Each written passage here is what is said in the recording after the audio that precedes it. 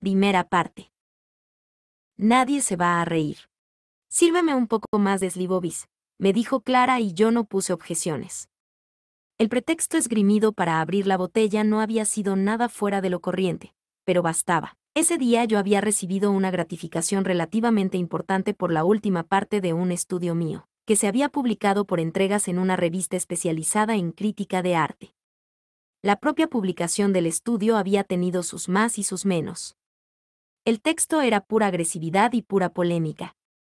Por eso primero me lo rechazaron en la revista, Pensamiento Artístico, cuya redacción es más formal y precavida, y por fin lo publicaron en la revista de la competencia, de menor tirada, cuyos redactores son más jóvenes e imprudentes.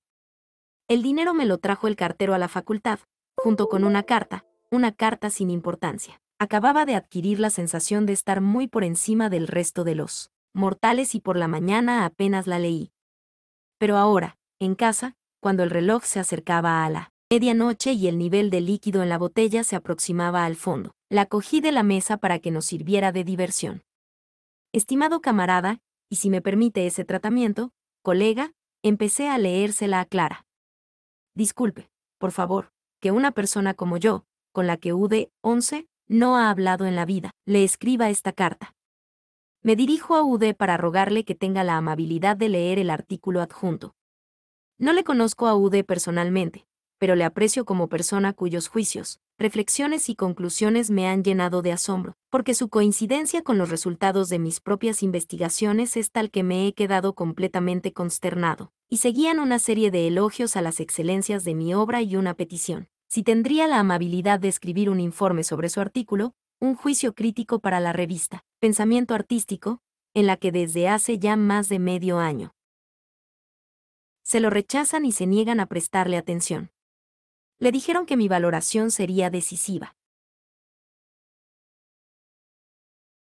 De modo que ahora me he convertido en su única esperanza como escritor, en la única lucecilla que le alumbra en la terrible oscuridad. Nos reímos del señor Satureki, cuyo rimbombante apellido nos fascinaba, pero nos reímos de él sin ensañarnos, porque los elogios que me dirigía, especialmente en combinación con la excelente botella de Slivovice, me habían ablandado me habían ablandado de tal modo que en aquellos instantes inolvidables amaba a todo el mundo. Naturalmente, de todo el mundo a quien más amaba era a Clara, aunque solo fuese porque estaba sentada frente a mí, mientras que el resto del mundo estaba oculto tras las paredes de mi guardilla del barrio de Brsovice. Y como en aquel momento no tenía nada con que obsequiar al mundo, obsequiaba a Clara. Al menos con promesas. Clara era una chica de 20 años y de buena familia que digo de buena, de excelente familia. Su padre había sido director de un banco y, como representante de la alta burguesía, en el año 50 había sido obligado a trasladarse al pueblo de Selakovice, a buena distancia de Praga. Su hijita tenía malos antecedentes políticos y trabajaba de costurera en una G12, gran fábrica de la empresa de confección de Praga. Yo estaba sentado frente a ella y procuraba aumentar sus simpatías por mí hablándole irreflexivamente de las ventajas del trabajo que había prometido conseguirle con la ayuda de mis amigos. Le dije que era imposible que una chica tan guapa desperdiciase su belleza junto a una máquina de coser y decidí que era necesario que se hiciera modelo. Clara no tuvo nada que objetar y pasamos la noche en feliz coincidencia. 8. 8. 2. El hombre atraviesa el presente con los ojos vendados. Solo puede intuir y adivinar lo que de verdad está viviendo. Y después, cuando le quitan la venda de los ojos, puede mirar al pasado y comprobar qué es lo que ha vivido y cuál era su sentido. Aquella noche pensé que estaba brindando por mis éxitos, sin tener la menor sospecha de que estaba celebrando la inauguración de mis fracasos. Y como no tenía la menor sospecha, al día siguiente me desperté de buen humor, mientras Clara seguía respirando feliz a mi lado, me puse a leer en la cama, con caprichosa indiferencia, el artículo que acompañaba a la carta. Se titulaba Micole Sales, el maestro del dibujo checo, y en verdad no valía la pena ni siquiera la media hora de lectura distraída que le dediqué.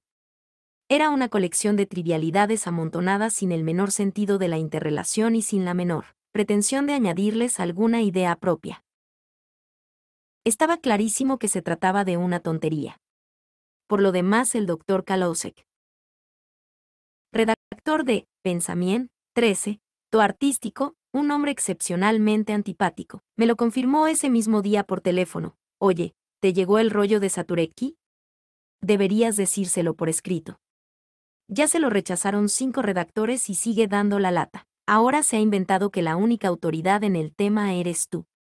Dile en dos líneas que es una idiotez. Tú sabes hacerlo. Las frases venenosas se te dan muy bien. Y así nos quedaremos todos en paz. Pero dentro de mí había algo que se revelaba. ¿Por qué tengo que ser precisamente yo el verdugo del señor Satureki? ¿Acaso me pagan a mí el sueldo de redactor por hacer ese trabajo? Además recordaba perfectamente que en Pensamiento Artístico habían rechazado mi estudio porque les dio miedo publicarlo. En cambio, el nombre del señor Satureki estaba firmemente unido en el recuerdo a Clara, la botella de Slivovice y una hermosa noche.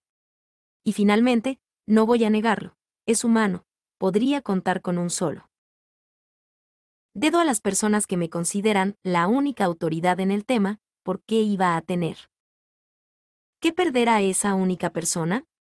Terminé la conversación con Kalosek con alguna graciosa vaguedad que él podía considerar como promesa, y yo como excusa, y colgué el teléfono, firmemente decidido a no escribir nunca el informe sobre el trabajo del señor Satureki. En lugar de eso saqué del cajón el papel de carta y le escribí al señor Satureki, evitando pronunciar ningún juicio sobre su trabajo y poniendo como disculpa que mis opiniones sobre la pintura del siglo XIX eran consideradas por todo el mundo erróneas y extravagantes y que por eso una intercesión mía, en especial tratándose de la redacción de Pensamiento Artístico, podía más perjudicarle que favorecerle. Al mismo tiempo, me dirigía al señor Satureki con una amistosa locuacidad de la que era imposible no deducir mis simpatías hacia él. 14. En cuanto eché la carta al correo, me olvidé del señor Satureki. Pero el señor Satureki no se olvidó de mí. 3. Un buen día. Justo al terminar mi clase, doy clases de historia de la pintura en la universidad. Llamó a la puerta del aula nuestra secretaria, la señora Marie, una mujer amable de cierta edad que de vez en cuando me hace una taza de café y dice que no estoy cuando me llaman. Mujeres por teléfono y yo no quiero ponerme. Asomó la cabeza por la. Noé. Noé. Puerta del aula y me dijo que había un señor esperándome. Los señores no me dan miedo, así que me despedí de los alumnos y salí al pasillo con buen ánimo. Allí me saludó con una inclinación de cabeza un hombrecillo pequeño que llevaba un traje negro bastante usado y una camisa blanca. Me comunicó muy respetuosamente que era Satureki. Invité al visitante a pasar a una habitación que estaba libre, le indiqué que se sentase en un sillón, en tono jovial, empecé a conversar con él de todo un poco, del mal tiempo que hacía aquel verano, de las exposiciones que había en Praga. El señor Satureki asentía amablemente a cualquier tontería que yo dijese, pero de inmediato trataba de relacionar cada uno de mis comentarios con su artículo sobre Micole Sales, y el artículo yacía de pronto entre nosotros, en su invisible sustancia, como un imán del que no era posible librarse. Nada me gustaría más que hacer un informe sobre su trabajo, dije por fin, pero... Ya le he explicado en mi carta que no me consideran experto en el sí 15, Glow 19, checo y que además estoy un poco enfrentado con la redacción de Pensamiento Artístico, porque me tienen por un fanático modernista, de modo que una valoración positiva mía solo podría perjudicarle. Oh, es usted demasiado modesto, dijo el señor Satureki. Un experto como usted. ¿Cómo puede valorar tan negativamente su posición? En la redacción me han dicho que todo dependerá exclusivamente de su valoración. Si usted se pone de parte de mi artículo, lo publicarán. Es usted mi única salvación. Se trata del producto de tres años de estudio y tres años de trabajo. Ahora todo está en sus manos. ¿Con qué ligereza y con qué defectuosos materiales edifica el hombre sus excusas? No sabía qué responderle al señor Satureki. Eché una mirada a su cara y advertí que no solo me miraban unas pequeñas e inocentes gafas anticuadas, sino también una poderosa y profunda arruga transversal en la frente. En aquel breve instante de clarividencia, un escalofrío me atravesó la espalda, esa arruga. reconcentrada y terca. No era solo un indicio de los padecimientos del espíritu sufridos por su propietario ante los dibujos de Micole Sales, sino también el síntoma de una extraordinaria fuerza de voluntad. Perdí mi presencia de ánimo y no pude encontrar una excusa adecuada. Sabía que no iba a escribir aquel informe, pero también sabía que no tenía fuerzas para responder con un no, cara a cara, a los ruegos de aquel hombrecillo. De modo que empecé a sonreír y a hacer promesas vagas. El señor Saturecki me dio las gracias y dijo que pronto volvería a verme. Me despedí de él con muchas sonrisas. Y, en efecto, al cabo de un par de días volvió. Lo esquivé astutamente, pero al día siguiente me dijeron que había estado otra vez preguntando por mí en la 16 facultad. Comprendí que la situación era crítica. Fui rápidamente en busca de la señora Marie para tomar las medidas necesarias. Por favor, Marie, si volviese a preguntar por mí ese señor, dígale que estoy de viaje. Estudios en Alemania y que tardaré un mes en regresar. Y para su información, ya sabe que tengo todas mis clases los martes y los miércoles. Voy a cambiarlas, en secreto, a los jueves y los viernes. Los únicos que lo sabrán serán los alumnos. No se lo diga a nadie y deje el horario de clases tal como está. Tengo que pasar a la clandestinidad. 4. 10. 10. En efecto, el señor Satureki pronto volvió a la facultad a preguntar por mí y se quedó desolado cuando mi secretaria le comunicó que me había ido repentinamente a Alemania. Pero eso no es posible. El señor profesor ayudante tenía que escribir un informe sobre mi trabajo. ¿Cómo ha podido marcharse de ese modo? No lo sé, dijo la señora Marie, de todos modos dentro de un mes estará de regreso. Otro mes más, se lamentó el señor Saturecki. ¿Y no sabe su dirección en Alemania? No la sé, dijo la señora Marie. Así que tuve un mes de tranquilidad. Pero el mes pasó más rápido de lo que yo había pensado y el señor Saturecki ya estaba de nuevo en el despacho. No, aún no ha regresado, le dijo la señora Marie, y en cuanto me vio, un poco más tarde, me rogó. Ese hombrecillo suyo ha vuelto otra vez por 17, aquí, dígame usted, por Dios, ¿qué tengo que decirle? Dígale, Marie, que me ha dado una hepatitis en Alemania y que estoy internado en él. Hospital de Jena. En el hospital. exclamó el señor Saturecki cuando Marie se lo comunicó algunos días más tarde. Eso no es posible. El señor profesor ayudante tiene que escribir un informe sobre mi trabajo. Señor Saturecki, le dijo la secretaria en tono de reproche. El señor ayudante está gravemente enfermo en el extranjero y usted no piensa más que en su informe. El señor Satureki se encogió de hombros y se marchó, pero al cabo de 14 días ya estaba de vuelta en el despacho. Le he enviado al señor profesor ayudante una carta certificada al hospital y me la han devuelto. Ese hombrecillo suyo me va a volver loca, me dijo al día siguiente la señora Marie. No se enfade conmigo. ¿Qué podía decirle? Le dije que ya había regresado.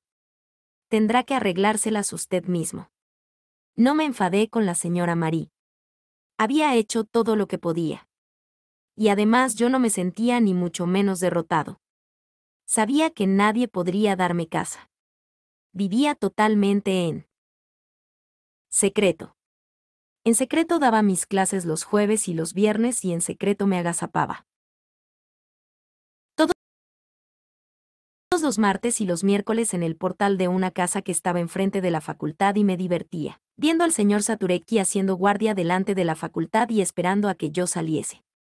Tenía ganas de ponerme un sombrero hongo y una barba falsa. Me sentía como Sherlock Holmes, como Jack el enmascarado, como el hombre invisible que recorre la ciudad, me sentía como un niño. Pero, un buen día, el señor Saturecki se aburrió de hacer guardia y atacó frontalmente a la señora Marie. ¿Cuándo da sus clases el camarada ayudante? 18. Ahí tiene el horario, dijo la señora Marí señalando la pared en la que había un gran tablón de anuncios cuadriculado donde, con ejemplar prolijidad, estaban dibujadas las horas de clase de todos los profesores. Eso ya lo sé, respondió con decisión el señor Saturecki. El problema es que el camarada ayudante no da nunca clase ni el martes ni el miércoles. Está dado de baja por 11. 11. ¿Enfermedad? No, respondió dubitativa la señora Marie. Y entonces el hombrecillo se encaró con la señora Marie. Le reprochó el desorden que tenía en el horario de los profesores. Le preguntó irónicamente cómo era posible que no supiese dónde estaban en cada momento los profesores. Le comunicó que iba a presentar una queja contra ella. Le gritó.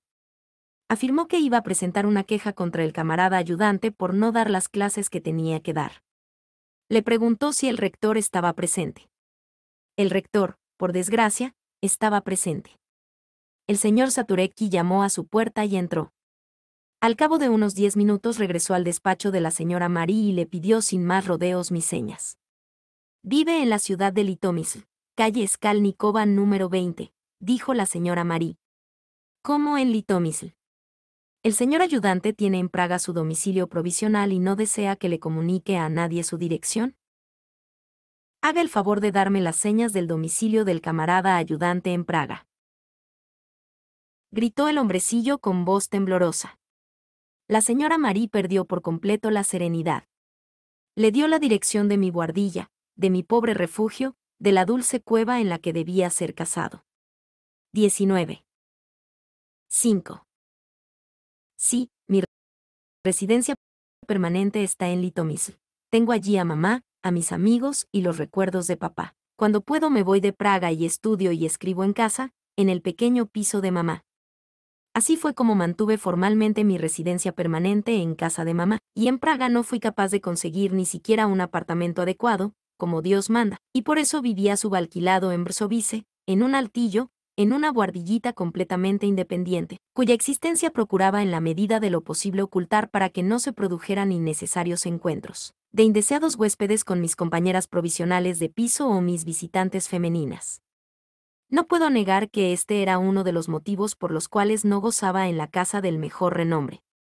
Durante algunas de mis estancias en Litomis les había prestado la habitación a amigos que la utilizaban para divertirse, y se divertían tanto que no permitían, que nadie pegase ojo en el edificio durante toda la noche. Aquello indignaba a algunos de los habitantes del edificio, de modo que estaban empeñados en una guerra secreta contra mí, que se manifestaba de vez en cuando en los informes que emitía sobre mí el comité de vecinos y hasta en una queja, presentada ante la Administración de Viviendas. En la época a la que me estoy refiriendo, a Clara le empezó a parecer complicado desplazarse desde Selacovice para ir al trabajo, de modo que comenzó a pasar la noche en mi casa. Al principio lo hacía con timidez y excepcionalmente, luego colgó un vestido en el armario, después varios vestidos, y al cabo de poco tiempo, mis dos trajes se apretujaban en un rim 20, con y mi pequeña habitación se había convertido en un saloncito femenino. Clara me gustaba, era hermosa, yo disfrutaba de que la gente nos mirase cuando íbamos juntos. Tenía por lo menos 13 años menos que yo, lo cual acrecentaba mi prestigio entre los alumnos. Tenía, en una palabra, multitud de motivos para dedicarle todo tipo de atenciones.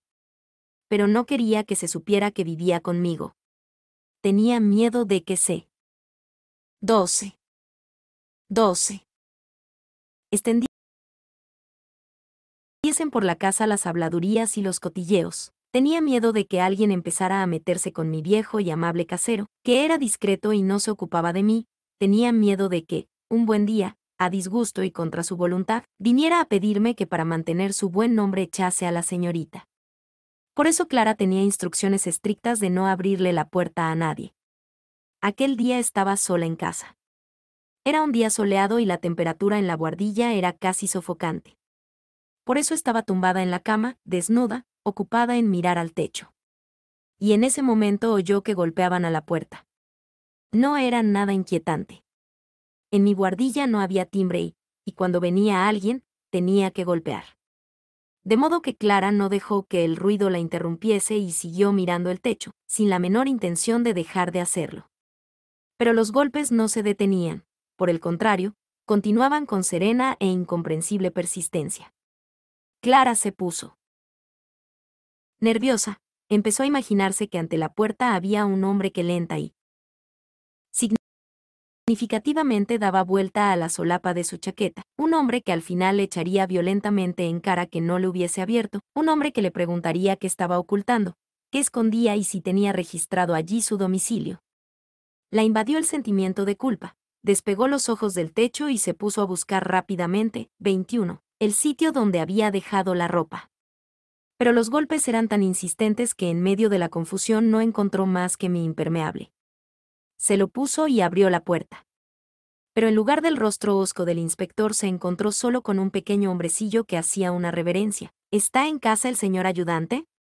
No, no está en casa. Qué pena, dijo el hombrecillo y pidió amablemente disculpas por interrumpir. Es que el señor ayudante debe escribir un informe sobre un trabajo mío. Me lo prometió y ya es muy urgente.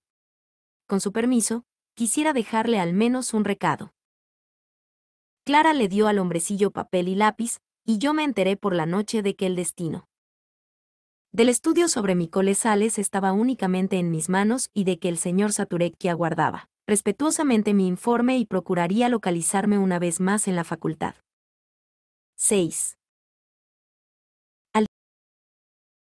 Día siguiente la señora Marí me contó cómo le había amenazado el señor Saturecki, cómo había gritado y cómo había ido a quejarse de ella, la voz le temblaba y estaba a punto de llorar. Me dio rabia. Comprendí perfectamente que la secretaria, que hasta ahora se había reído de mi juego al escondite, aunque apostaría el cuello que lo hacía más por amabilidad hacia mí que porque se divirtiera sinceramente, se sentía ahora maltratada y veía naturalmente en mí al causante de sus problemas.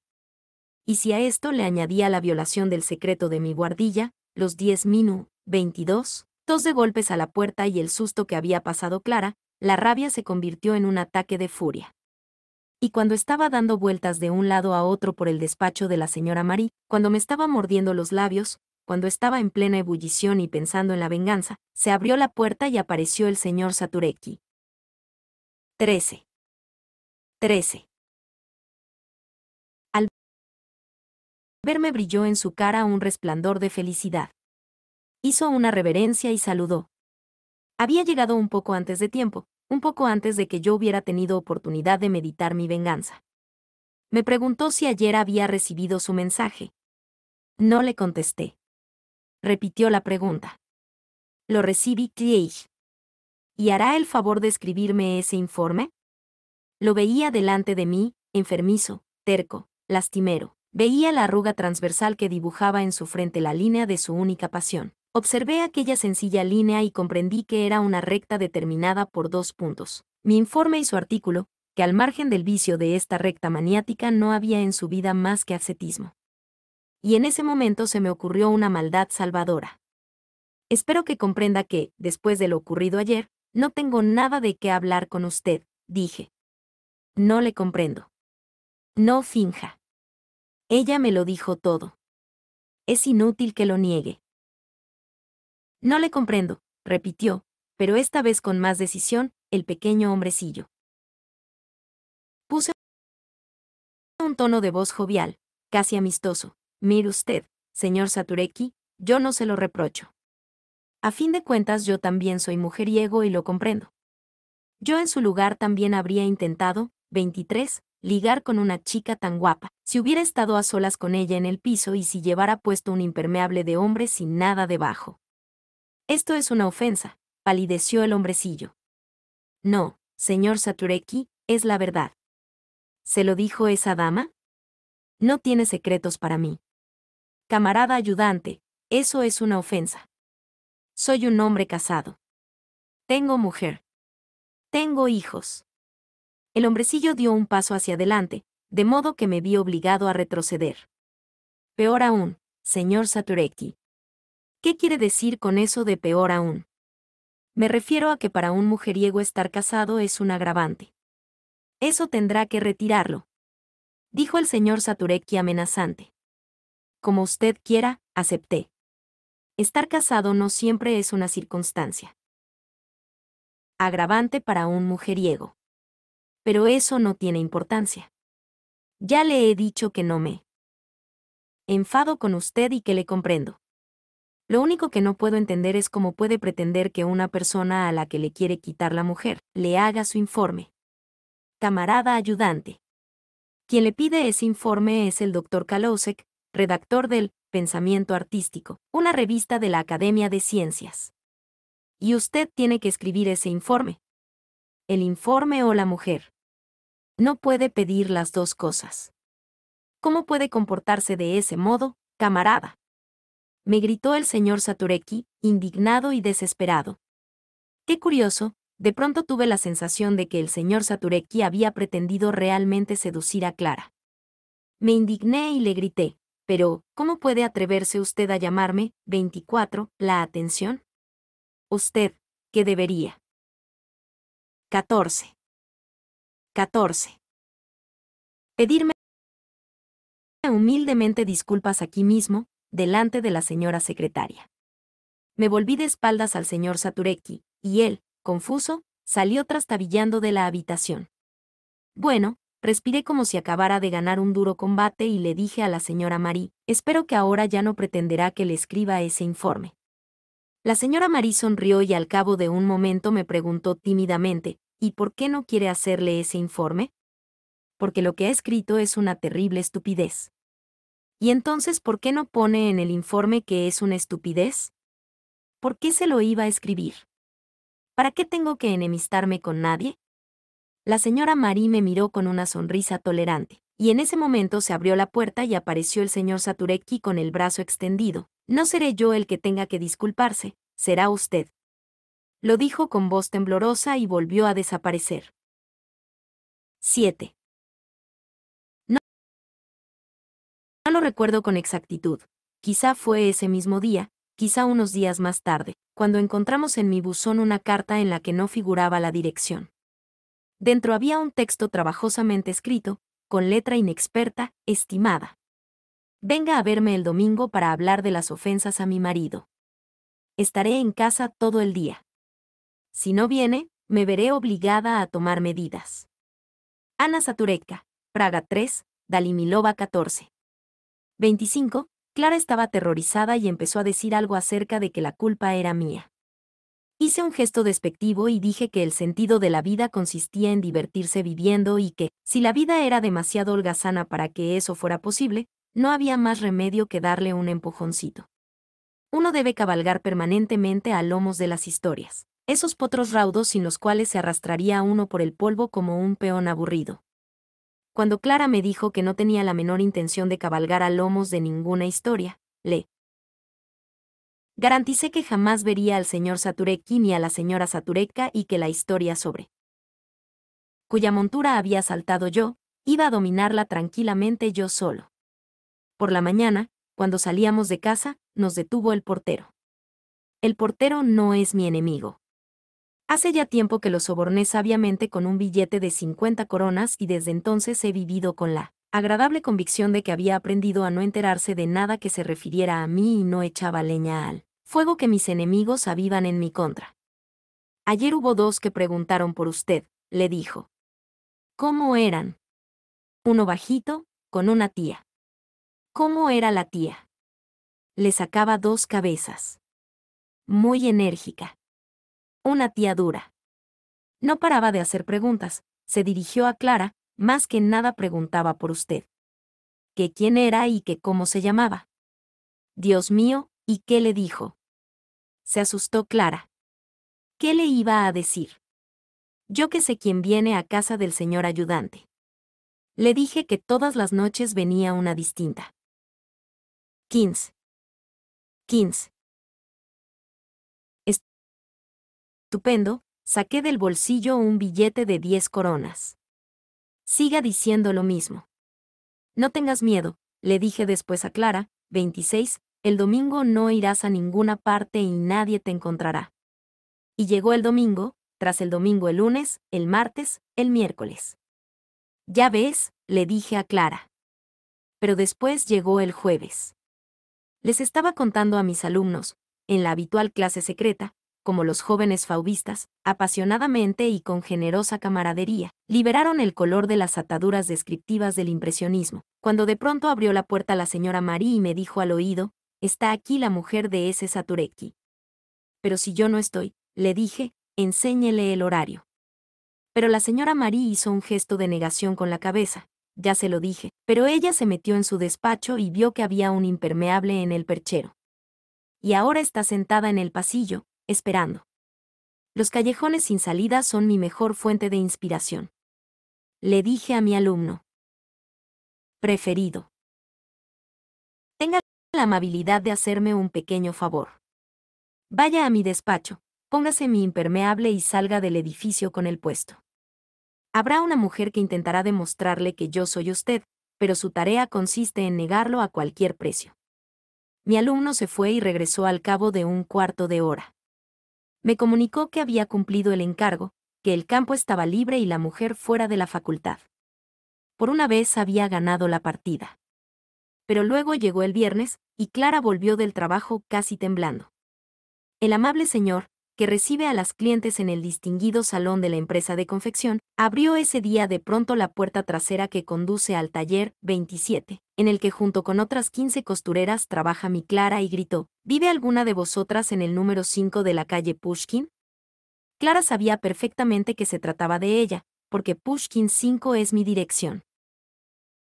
Pero, haciendo gala de prudencia, no respondió, porque sabía que vivía en mi casa. Legalmente y que nadie tenía por qué inmiscuirse en eso. Ya se lo decía yo, dijo el amable señor al ver que ninguna de las costureras respondía, y se marchó. Al poco tiempo, Clara se enteró de que una mujer de voz severa que llamó por teléfono le había obligado a consultar las direcciones de las empleadas y había estado un cuarto de hora convenciéndolo de que en la empresa tenía que haber una mujer que viviese en Pushkin 5 la sombra de la señora Saturetka yacía sobre nuestra idílica habitación. Pero, ¿cómo ha podido averiguar dónde trabajas? Si en este edificio nadie sabe nada de ti. Exclamé. Sí, estaba realmente convencido de que nadie sabía de nosotros. Vivía como un excéntrico que cree pasar desapercibido tras una elevada muralla, sin percatarse de un único detalle, de que la muralla es de cristal transparente.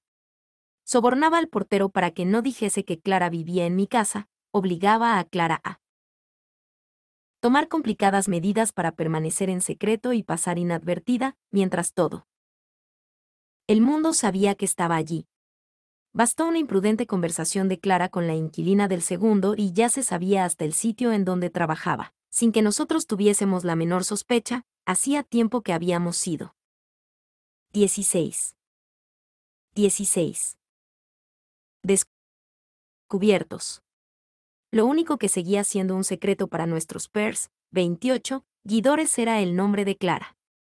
Este secreto era el único y el último escondite que nos permitía seguir huyendo de la señora Satureka, que había iniciado su lucha con una tenacidad y un método que me horrorizaban. Comprendí que la cosa iba en serio, que el caballo de mi historia ya estaba cabalgando a toda marcha. 8. Aquello sucedió el viernes y cuando Clara llegó el sábado del trabajo, temblaba una vez más. Había ocurrido lo siguiente. La señora Saturetka fue con su marido a la empresa a la que había llamado por teléfono el día anterior y le pidió al director que les permitiese visitar el taller con su marido y examinar las caras de todas las costureras que estuviesen presentes. La petición le pareció ciertamente extraña al director, pero la cara que ponía la señora Saturetka no era como para rechazar sus exigencias. Hablaba de un modo confuso de ofensas, de vidas destrozadas y de procedimientos judiciales. El señor Saturecki estaba a su lado, ponía cara de disgusto y permanecía callado. Así que fueron conducidos al taller. Las costureras levantaron con indiferencia la cabeza y Clara reconoció al hombrecillo. Se puso pálida y con llamativo disimulo continuó cosiendo. Adelante, le dijo con irónica amabilidad el director al inmóvil dúo. La señora. Saturetka comprendió que debía tomar la iniciativa e incitó a su marido. Vamos, mira. El señor Saturecki levantó la vista con el ceño fruncido y miró a su alrededor. 29. ¿Es alguna de estas? Le preguntó al oído la señora Saturetka. Al parecer el señor Saturecki no veía con la precisión suficiente, ni siquiera con gafas, como para abarcar con la mirada, en su conjunto, aquel gran espacio cubierto que, por lo demás, era bastante accidentado. Estaba lleno de trastos apilados y de trajes colgados de barras horizontales, y en el que las inquietas costureras no estaban ordenadamente sentadas de cara a la puerta, sino cada cual a su aire, se volvían, cambiaban de silla, se levantaban y miraban involuntariamente hacia otro sitio. De modo que tuvo que recorrer el taller procurando que no se le escapase ninguna. Cuando las mujeres se dieron cuenta de que estaban siendo observadas por alguien, y además por alguien tan poco agraciado y para ellas tan poco apetecible, experimentaron en lo más profundo de su sensibilidad una vaga sensación de humillación y comenzaron a revelarse silenciosamente, riéndose y murmurando. Una de ellas, una joven gruesa y mal hablada, le espetó. El tío anda buscando por toda Praga a la desgraciada que lo dejó preñado. Sobre la pareja se desplomó la burla ruidosa y vasta de las mujeres, pero ambos se quedaron en medio de aquella burla, tímidos y tercos, con una especie de extraña dignidad. Madre, volvió a exclamar la chica mal hablada dirigiéndose a la señora Satureka, tiene que cuidar mejor al chiquillo. Yo a un niño tan bonito como ese no lo dejaría ni salir de casa. Sigue mirando, le susurró la mujer a su marido, y él, temeroso y con el ceño. 17. 17. Fruncido, siguió avanzando, paso a paso, como si recorriese el sendero de la vergüenza y el castigo, pero siguió con firmeza y sin dejar de lado ni una sola cara. El director sonreía durante todo el tiempo con una, 30, sonrisa neutra. Conocía bien a las mujeres con las que trabajaba y sabía que no había nada que hacer con ellas. Por eso fingió no oír el barullo que hacían y le preguntó al señor Satureki, ¿y qué aspecto debería tener esa mujer? El señor Satureki se volvió hacia el director y lentamente y en tono serio dijo, era hermosa, era muy hermosa. Mientras tanto Clara se encogía en un rincón del taller, diferenciándose por su intranquilidad, su cabeza agachada y su febril actividad de todas las demás mujeres que se divertían con la escena. Que mal simulaba su insignificancia, tratando de pasar desapercibida. Y el señor Satureki ya estaba a un paso de ella y en unos segundos iba a mirarla a la cara. No es gran cosa recordar únicamente que era hermosa, le dijo el amable directoral. Señor Satureki. Hay muchas mujeres hermosas. ¿Era alta o baja? Alta, dijo el señor Satureki. ¿Era rubia o morena? El señor Satureki se detuvo a reflexionar y dijo, era rubia. Esta parte de la historia podría servir de parábola sobre la fuerza de la belleza.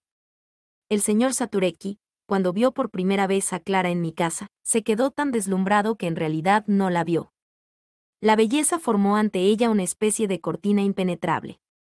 Una cortina de luz tras la cual estaba escondida como si fuera un velo. Es que Clara no es ni alta ni rubia. Fue la grandeza interior de la belleza, nada más, la que le dio, ante los ojos del señor Satureki, la apariencia de altura física. Y la luz que la belleza irradia le dio a su pelo apariencia dorada.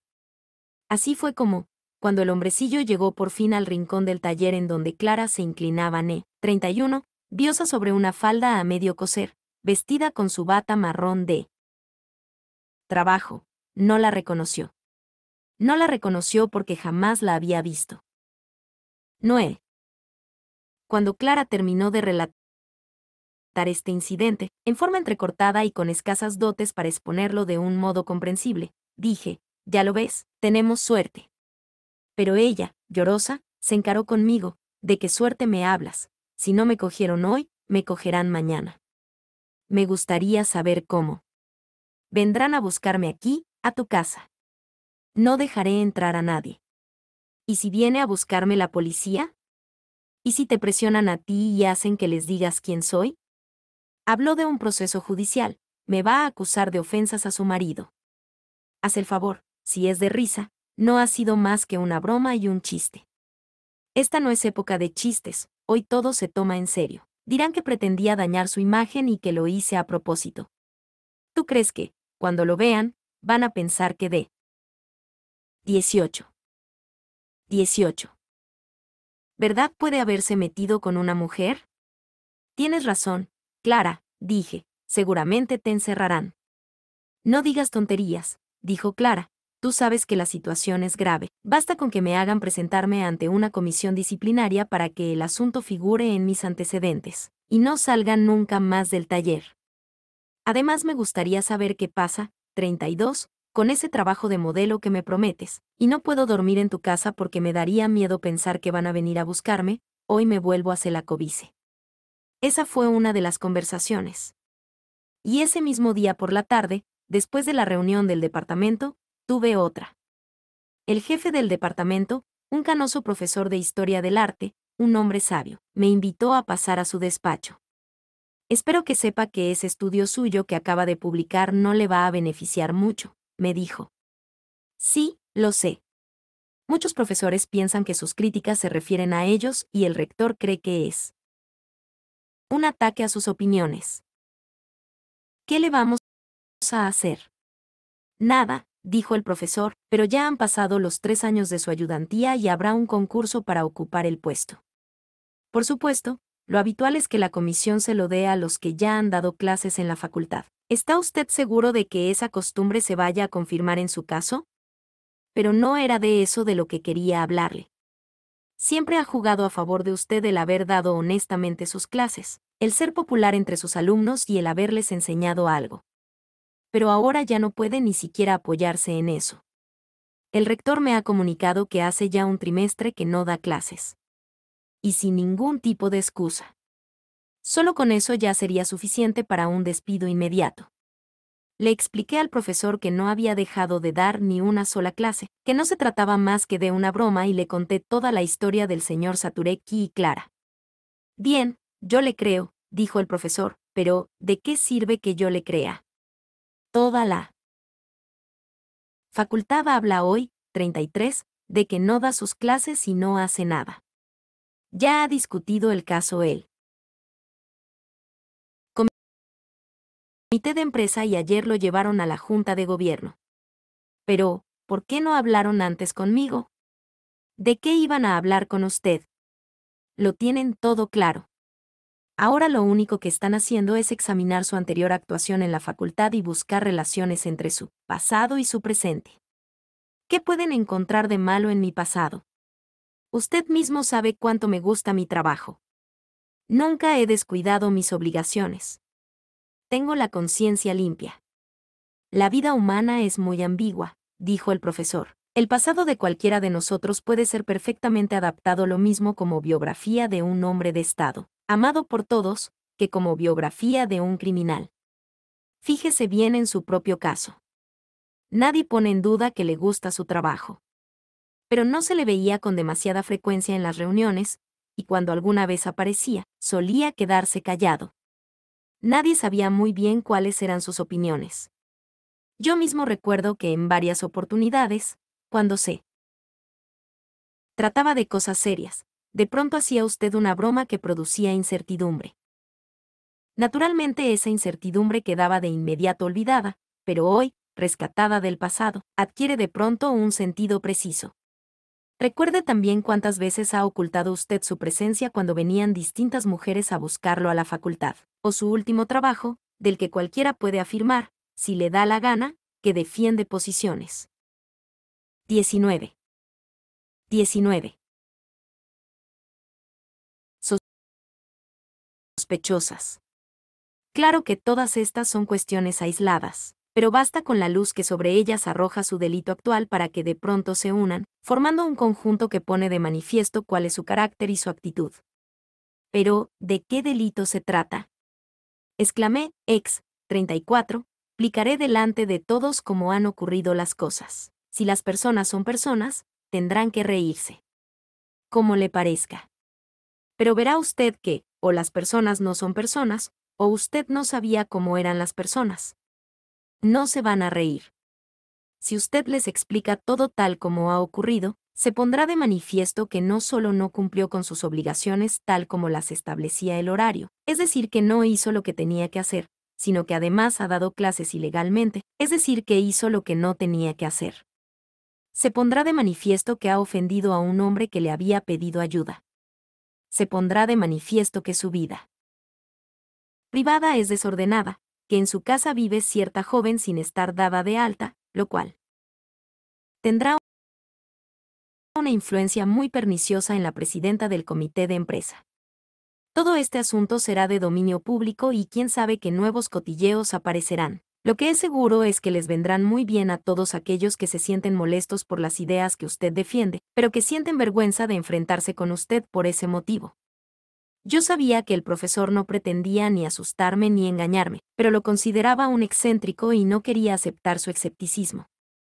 Yo mismo me había montado en aquel caballo y ahora no podía permitir que me arrancase las riendas de las manos y me llevase a donde él quisiera. Estaba dispuesto a luchar contra él. Y el caballo no rehuía el combate. Cuando llegué a casa, me esperaba en el buzón una citación a la reunión del comité de vecinos. 35. 10.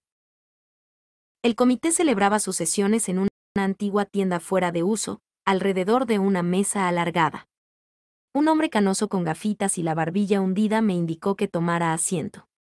Le di las gracias, me senté y aquel mismo hombre tomó la palabra. Me comunicó que el comité seguía mis pasos desde hacía tiempo, que sabía muy bien que llevaba una vida privada desordenada y que eso no producía una buena impresión, que los inquilinos de mi edificio ya se habían quejado más de una vez de que no podían dormir por el ruido que hacía en mi casa durante toda la noche, que aquello era suficiente para que el comité de vecinos se formara una idea apropiada de mí. Y que ahora, por si fuera poco, había acudido a ellos la camarada Satureka, la esposa de un trabajador científico, que debía haber escrito hace ya medio año un informe sobre la obra científica de su marido y no lo había hecho, a pesar de que sabía que de mi informe dependía el futuro de la mencionada obra. ¿De qué obra científica me hablan? interrumpí al hombre de la barbilla pequeña. Es un pegote de ideas copiadas de libros de texto.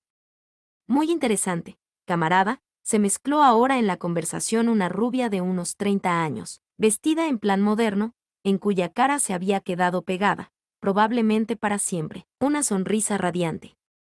Permítame una pregunta, ¿cuál es su especialidad? La teoría del arte. ¿Y la del camarada Saturecki? No lo sé. Probablemente intenta algo parecido. Ya lo ven, la rubia se dirigió entusiasmada a los demás, el camarada no ve en un. 20. 20. Trabajador de su misma especialidad a un colega, sino a un competidor. Prosigo, dijo el hombre de la barbilla Jun, 36, Dida. La camarada Satureka nos dijo que su esposo fue a verle a usted a su casa y que encontró en ella a una mujer. Según parece, esa mujer lo acusó ante usted de haber pretendido aprovecharse sexualmente de ella.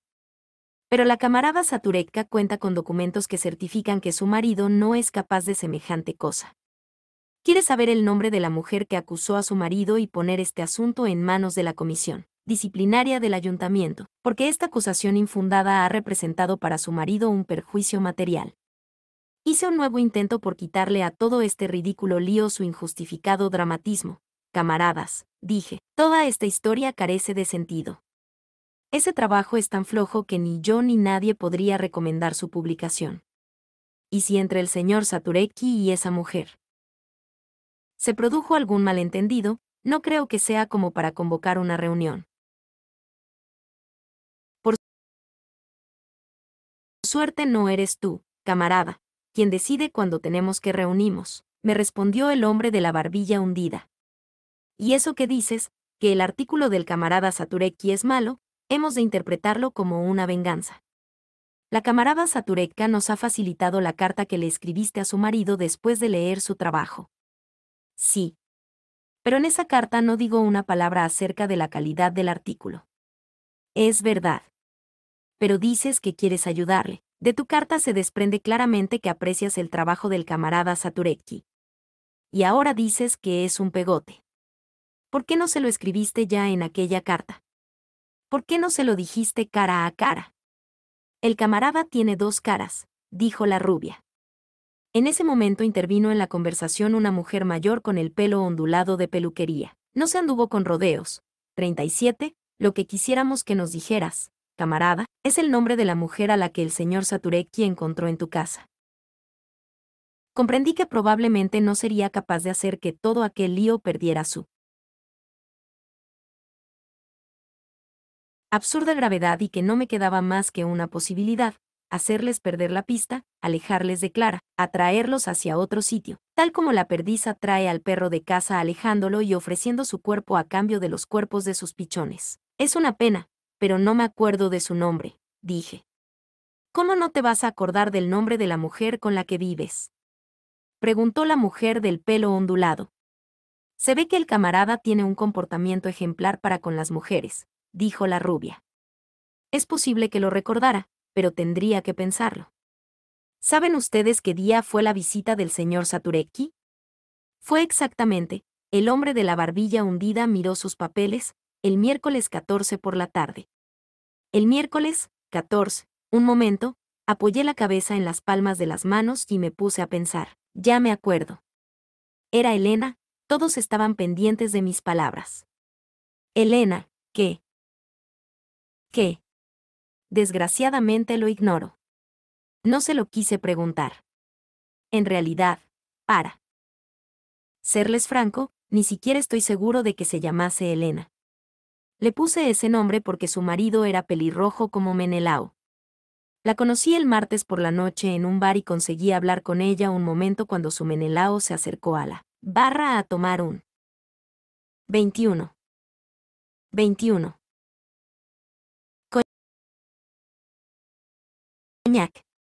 Al día siguiente vino a verme y estuvo en casa toda la tarde. Pero tuve que dejarla sola dos horas porque tenía una, 38, reunión en la facultad. Cuando volví estaba disgustada porque había venido un hombrecillo a molestarla. Creyó que yo estaba conchavado con él, se ofendió y ya no quiso saber nada de mí. Y ya lo ven, ni siquiera tuve tiempo de averiguar su verdadero nombre. Camarada, independientemente de que lo que dice sea cierto, dijo la rubia, me parece incomprensible que usted pueda educar a nuestra juventud. ¿Acaso nuestro modo de vida no le sirve de inspiración más que para beber y para aprovecharse de las mujeres? Puede estar seguro de que daremos nuestra opinión al respecto donde corresponda. El portero no dijo nada de ninguna Elena, intervino ahora la mujer mayor del pelo ondulado. Pero nos informó de que hace ya un mes que tienes en tu casa, sin darla. De alta, a una chica que trabaja en la empresa de confección. No olvides, camarada, que estás en un piso subalquilado. ¿Te crees acaso que puede vivir alguien en tu piso, así por las buenas? ¿Piensas que nuestra casa es un burdel? Si no nos quieres decir su nombre, ya lo averiguará la policía. 11. Las cosas iban cada vez peor. Yo mismo empezaba a notar en la facultad el ambiente de rechazo del que me había hablado el profesor. Hasta el momento no me habían convocado oficialmente, pero de vez en cuando oía alguna indirecta y de vez en cuando, por compasión, me hacía alguna confidencia la señora Marie, en cuyo despacho los profesores tomaban el café y hablaban sin preocuparse de que alguien pudiera oírles. Dentro de un par de días debía reunirse la comisión encargada del concurso, que ahora CD 39 dedicaba a recoger todas las valoraciones posibles. Me imaginaba lo que dirían los miembros de la comisión al leer el informe del comité de vecinos, un informe del que solo sabía que era secreto y sobre el cual yo no tendría oportunidad de pronunciarme. Hay momentos en la vida en los que uno tiene que batirse en retirada, en los que debe rendir las posiciones menos importantes para salvar las más importantes. Yo pensé que mi posición más importante, mi último reducto, era mi amor. Sí, en aquellos días de inquietud. Comencé de pronto a darme cuenta de que amaba a mi costurera y me sentía ligado a ella. Ese día me encontré con ella junto al museo. No, en casa no. ¿Acaso aquella casa seguía siendo mi hogar? ¿Puede una habitación con las paredes de cristal ser un hogar? ¿Una habitación vigilada con prismáticos? Una habitación en la que uno tiene que ocultar a la que ama con más precauciones que si se tratara de una mercancía de contrabando. Mi casa ya no era mi casa. Teníamos la misma sensación que alguien que se ha internado en territorio ajeno y a cada momento puede ser capturado. Nos ponían nerviosos los pasos que se oían en el pasillo. Estábamos constantemente esperando a que alguien el la amara con insistencia a la puerta. Clara había vuelto a vivir en Celacovice, y en aquella casa nuestra, que se nos había vuelto ajena, ya no teníamos ganas de vernos ni siquiera durante un rato. Por eso le había pedido a un amigo pintor que me prestara su estudio para pasarla. Noche. Aquel día me dejó la llave por primera vez. Así que nos encontramos bajo uno de los altos techos del barrio de Vinogradí, en una enorme habitación con una pequeña cama y una gran ventana inclinada desde la que se veía toda la Praga, nocturna en medio de un montón de cuadros apoyados contra la pared, en él. 22. 22. Desorden y la despreocupada suciedad del 40, estudio del pintor, volví de pronto a sentir la antigua sensación de despreocupada libertad. Me tumbé en la cama, introduje el sacacorchos en el corcho y abrí una botella de vino. Hablaba con alegría y despreocupación, y disfrutaba pensando en la noche que me esperaba. Pero la angustia de la que yo me había liberado cayó por entero sobre Clara. Ya mencioné que Clara había venido, sin el menor escrúpulo y hasta con la mayor naturalidad, a vivir a mi guardilla pero ahora que nos encontrábamos por un momento en un estudio ajeno, se sentía incómoda. Más que incómoda. Esto me resulta humillante, me dijo. ¿Qué es lo que te humilla? Le pregunté. Que hayamos tenido que pedir un piso prestado. ¿Y por qué te humilla que hayamos tenido que pedir un piso prestado? Porque tiene algo de humillante, respondió. Es que no podíamos hacer otra cosa. Ya, respondió, pero en un piso prestado me siento como si fuera una golfa. Por Dios, ¿por qué ibas a tener que sentirte como una golfa precisamente en un piso prestado? Las golfas suelen desarrollar sus actividades en sus casas y no en casas prestadas. Era inútil pretender atacar con razonamientos el firme muro de sentimientos irracionales con los que, al parecer, está modelada el alma de la mujer nuestra conversación tuvo desde el comienzo mal cariz.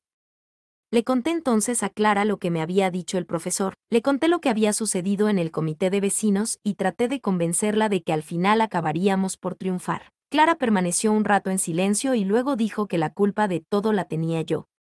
41. ¿Al menos podrá sacarme de ese taller de costura? Le dije que quizás ahora tuviera que tener un poco de paciencia. Ya ves, dijo Clara, muchas promesas y al final no harás nada. Y yo sola nunca saldré de allí, aunque otra persona quiera ayudarme, porque por culpa tuya tendré malos antecedentes. Le di a Clara mi palabra de que lo que había ocurrido con el señor Saturecki no le afectaría a ella. De todos modos no entiendo, dijo Clara, ¿por qué no escribes ese informe? Si lo escribieras, enseguida se acabarían los problemas. Ya es tarde, Clara, le dije. Si escribiese el informe dirían que lo hago para vengarme y se pondrían aún más furiosos. ¿Y por qué ibas a tener que hacer un informe negativo? Hazlo positivo. Eso no puedo hacerlo, Clara. Es un artículo totalmente infumable. ¿Y qué? ¿Por qué de pronto te haces el sincero? ¿No era mentira cuando le escribiste a ese hombrecillo que en el pensamiento artístico no te hacía ningún caso? ¿Y no era mentira cuando le dijiste a ese hombrecillo que me había querido seducir? ¿Y no fue mentira cuando te inventaste a aquella Elena? Así que, si ya has mentido tanto, ¿qué más te da mentir una vez más y hacer un informe elogioso? Es la única forma de arreglarlo. Ya ves, Clara, dije, tú crees que todas las mentiras son iguales y parece como si tuvieras razón. Pero no la tienes. Yo puedo inventar cualquier cosa, reírme de la gente. Idear historias y gamberradas, pero no tengo la sensación de ser un mentiroso ni me remuerde la conciencia. Cuando digo esas mentiras, si quieres llamarlas así, soy yo mismo. 23. 23. Tal como soy, al decir una de esas mentiras no estoy fingiendo, sino, 42, que en realidad digo la verdad pero hay cosas sobre las cuales no puedo mentir. Hay cosas que he conseguido comprender, cuyo sentido he descifrado, cosas a las que quiero y que tomo en serio. Y entonces no se puede bromear.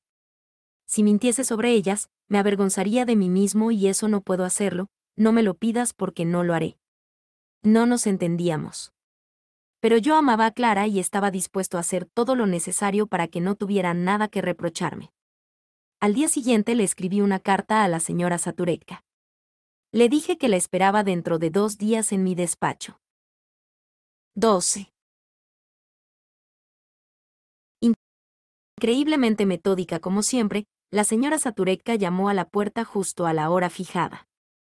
Abrí la puerta y la invité a entrar. Por fin la veía.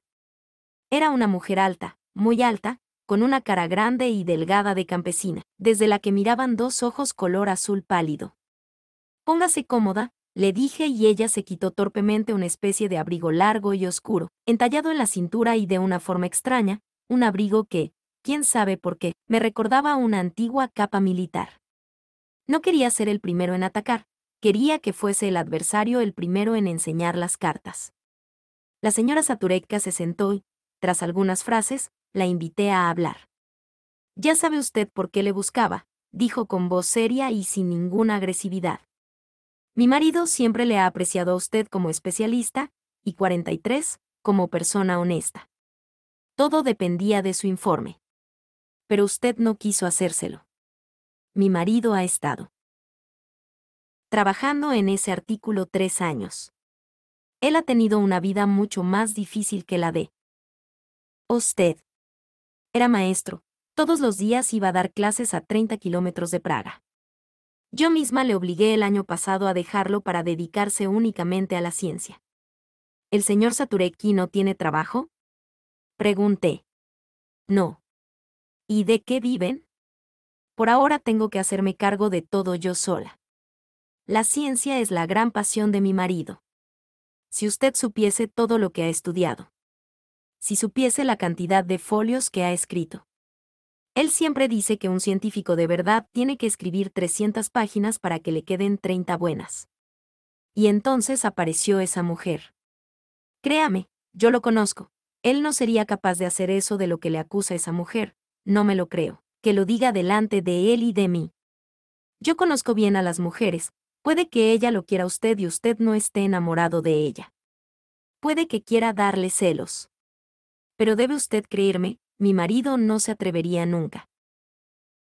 Estaba oyendo a la señora Satureca y de pronto me sucedió algo curioso, ya no era.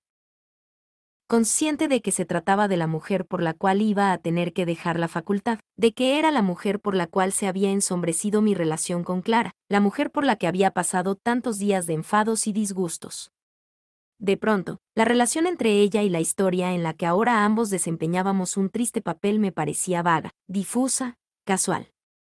De pronto comprendí que no fue más que una ilusión haber pensado que cabalgamos nosotros mismos en nuestras propias historias y que dirigimos su marcha, que en 24. 24.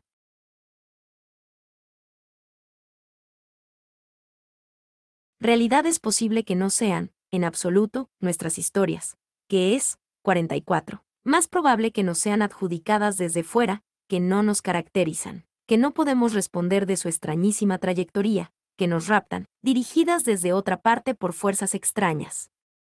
Por lo demás, cuando miré a los ojos a la señora Satureca, me pareció que aquellos ojos no podían ver hasta el fin de los actos, me pareció que aquellos ojos no miraban, que no hacían más que nadar en medio del rostro, que estaban fijos. Puede que tenga razón, señora Satureca, dije en tono apaciguador. Es posible que mi chica realmente no dijera la verdad, pero ya sabe usted lo que pasa cuando un hombre es celoso. Le creí y me fallaron un poco los nervios. Eso le puede pasar a cualquiera. Claro, por supuesto, dijo la señora Satureca y se notó que se había quitado un peso de encima. Qué bien que usted mismo lo reconozca. Temíamos que la creyese porque esa mujer podía haberle estropeado la vida a mi marido. No me refiero a lo mal que le hacía quedar desde el punto de vista moral. Eso hubiéramos procurado soportarlo. Pero es que mi marido tiene todas sus esperanzas puestas en su informe. En la redacción le dijeron que todo depende de usted. Mi marido está convencido de que, si se publica su artículo, por fin se le reconocerá como científico. Y ya que todo se ha aclarado, ¿le hará el favor de escribir el informe? ¿Podría hacerlo pronto? Ahora había llegado el momento de la venganza, de darle satisfacción a la rabia acumulada. Pero en aquel momento yo no sentía rabia alguna y lo que dije lo dije solamente porque no tenía más remedio que decirlo. Señora Satureka, eso del informe es complicado. Le confesaré todo lo que ha ocurrido. A mí no me gusta decirle a la gente, cara a cara, cosas desagradables. Esa es mi debilidad. He tratado de evitar al C-45, Ñor pensando que adivinaría el motivo que tenía para hacerlo. Y es que su trabajo es muy flojo. Carece de valor científico. Me. Cree. Es muy difícil que lo crea. Eso no puedo creerlo, dijo la señora Satureka. En primer lugar, el trabajo no es nada original. Entiéndame bien, un científico tiene que encontrar siempre algo nuevo. Un científico no puede simplemente copiar lo que ya se sabe, lo que escribieron otros. Estoy segura de que mi marido no copió ese trabajo. Señora Satureka, seguro que usted ha leído ese artículo. Iba a seguir hablando, pero la señora Satureka me interrumpió. No, no lo he leído. Me quedé sorprendido. Entonces léalo.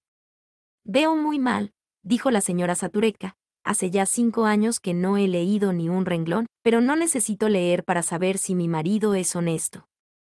Eso es algo que no se aprende leyendo. Yo a mi marido le conozco como una madre a su hijo, lo sé todo de él. Y sé que todo lo que hace es honesto. Tuve que pasar por lo peor. Le leí a la señora Satureka párrafos del artículo de su marido junto a los párrafos correspondientes de diversos autores de los que el señor Satureki había sacado sus ideas y la forma de expresarlas. Por supuesto, no se trataba de un plagio consciente, sino más bien de una dependencia inintencionada con respecto a autores por los que sentía un enorme respeto. Pero cualquier persona que oyese los párrafos citados comprendería que el trabajo del señor Satureki no podía ser publicado por Nin. 25. 25. Una revista científica seria. No sé en qué medida la señora Satureka atendía, 46, a mis explicaciones en qué medida las seguía y las entendía, pero permanecía sentada humildemente en el sillón, humilde y obedientemente como un soldado que sabe que no puede abandonar su puesto. Tardamos alrededor de media hora. La señora Satureka se levantó entonces del sillón, fijó en mí sus ojos traslúcidos y me pidió con voz inexpresiva que la disculpase. Pero yo me di cuenta de que no había perdido la fe en su marido y que si a alguien le echaba en cara algo era a sí misma por no haber sido capaz de hacer frente a mi argumentación, que le parecía oscura e incomprensible. Se puso su abrigo militar y yo comprendí que aquella mujer era un soldado, un triste soldado fatigado por largas marchas, un soldado incapaz de comprender el sentido de las órdenes recibidas, pero dispuesto siempre a cumplirlas sin protestar, un soldado que ahora se aleja derrotado, pero sin mácula. 13. Bueno, ahora ya no tienes nada que temer. Le dije a Clara tras repetirle en el bar Dalmacia mi conversación con la señora Satureka. Pero si yo no tenía nada que temer, respondió Clara con una confianza en sí misma que me llamó la atención. ¿Cómo que no? Si no hubiera sido por ti, jamás hubiera citado a la señora Satureka. Has hecho bien en hablar con ella, porque lo que les habías hecho era lamentable. El doctor Kalausek dice que es algo que resulta incomprensible para una persona inteligente. ¿Cuándo hablaste con Kalousek? Hablé, dijo Clara. 47. ¿Y se lo contaste todo? ¿Y qué? ¿Acaso es un secreto? Ahora sé perfectamente lo que eres tú. HM. ¿Quieres que te diga lo que eres? Hazme el favor. Un vulgar cínico. Eso te lo dijo Kalousek. ¿Por qué me lo iba a decir Kalousek? ¿Crees que no lo puedo inventar yo misma? Tú estás convencido de que soy incapaz de darme cuenta de lo que haces. A ti te gusta tomarle el pelo a la gente. Al señor Satureki le prometiste que ibas a hacer el informe. Yo no le prometí que iba a hacer el informe. Da lo mismo. Y a mí me prometiste que me ibas a conseguir un trabajo.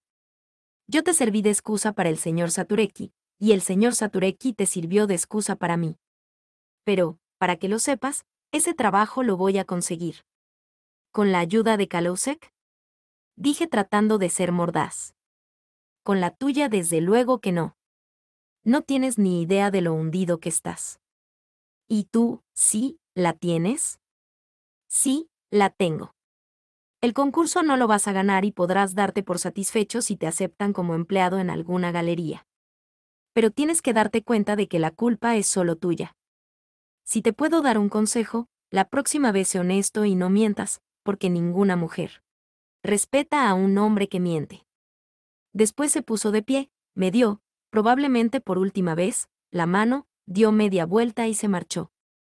Pasó un rato antes de que cayera en la cuenta de que, a pesar del gélido silencio que me rodeaba. Mi historia no pertenecía a la categoría de las historias trágicas, sino más bien a la de las cómicas. Eso me proporcionó cierto consuelo. Segunda parte. La dorada manzana del eterno deseo. 28. 28. Martín. Martín sabe hacer lo que yo no sé detener a cualquier mujer en cualquier calle. Tengo que decir que desde que conozco a Martín, y hace ya mucho tiempo que le conozco, he sacado de esta habilidad suya considerable provecho, porque no me gustan las mujeres en menor medida que a él, pero carezco de su descabellada osadía. En cambio, el error de Martín consistía en que la denominada detención de la mujer se convertía a veces para él en un virtuosismo, en un fin en sí mismo, con el que frecuentemente todo terminaba. Por eso solía decir, no sin cierta amargura, que parecía un delantero que le pasa generosamente balones seguros a su compañero de juego, para que éste meta luego goles fáciles y recoja una gloria fácil. El lunes de aquella semana, por la tarde, después de trabajar, le estaba esperando en un café de la plaza de Venceslao mientras examinaba un grueso libro sobre la antigua cultura. Etrusca.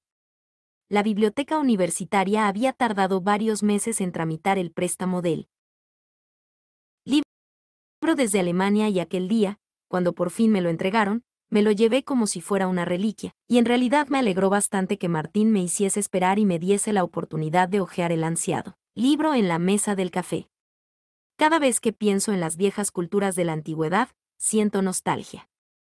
Quizás se trate, entre 51, otras cosas, de una nostálgica envidia por la desmayada y dulce lentitud de la historia de entonces. La época de la antigua cultura egipcia duró varios miles de años, la época de la antigüedad griega, casi un milenio.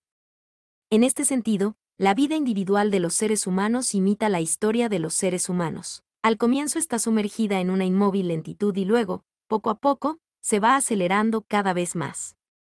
Martín cumplió hace precisamente dos meses los 40. Empieza la historia. Fue él quien interrumpió mi meditación. Apareció de pronto junto a la puerta de cristal del café y se dirigió hacia mí, haciendo gestos y movimientos expresivos en dirección a una de las mesas, en la cual, junto a una taza de café, destacaba una mujer. Sin dejar de mirarla se sentó junto a mí y dijo, ¿qué te parece? Me sentí avergonzado. Estaba realmente tan concentrado en mi grueso volumen que hasta entonces no me había fijado en la chica. Tuve que reconocer que era guapa y en ese momento la chica irguió el pecho y llamó al señor de la pajarita negra para decirle que quería la cuenta. Paga tú también. Me ordenó Martín. Pensábamos que íbamos a tener que correr tras la chica, pero por suerte se detuvo en el guardarropa. Había dejado allí la bolsa de la compra, y la encargada tuvo que sacarla de quién sabe dónde antes de ponerla delante de la chica en el mostrador. La chica le dio a la encargaba un par de monedas de 10 céntimos y en ese momento Martín me arrancó de la mano mi libro alemán. 52, mejor lo ponemos aquí, dijo con audaz naturalidad y metió cuidadosamente el libro en la bolsa de la chica. 29. 29. La chica puso cara de sorpresa pero no supo qué decir. En la mano se lleva muy mal, añadió Martín, y al ver que la chica se disponía a cargar con la bolsa, me echó en cara que no sabía comportarme. La joven era enfermera en el hospital de un pueblo. Al parecer estaba en Praga solo de paso y tenía prisa por llegar a la estación de autobuses de Florenc. Bastó un breve paseo hasta la parada del tranvía para que nos dijéramos todo lo esencial y nos pusiéramos de acuerdo en que el sábado iríamos a ver a visitar a aquella simpática joven quien, como Martín apuntó significativamente, seguro que tendría alguna guapa compañera de trabajo.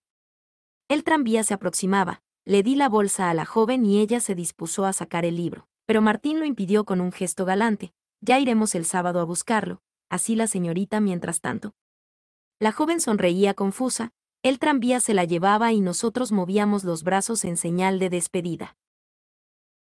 No hay nada que hacer, el libro que yo había ansiado durante tanto tiempo estaba de pronto lejos de mí, en manos desconocidas. Realmente era un fastidio. Pero una especie de rapto se ocupó de proporcionarme rápidamente alas con las que me elevé felizmente por encima de todo aquello.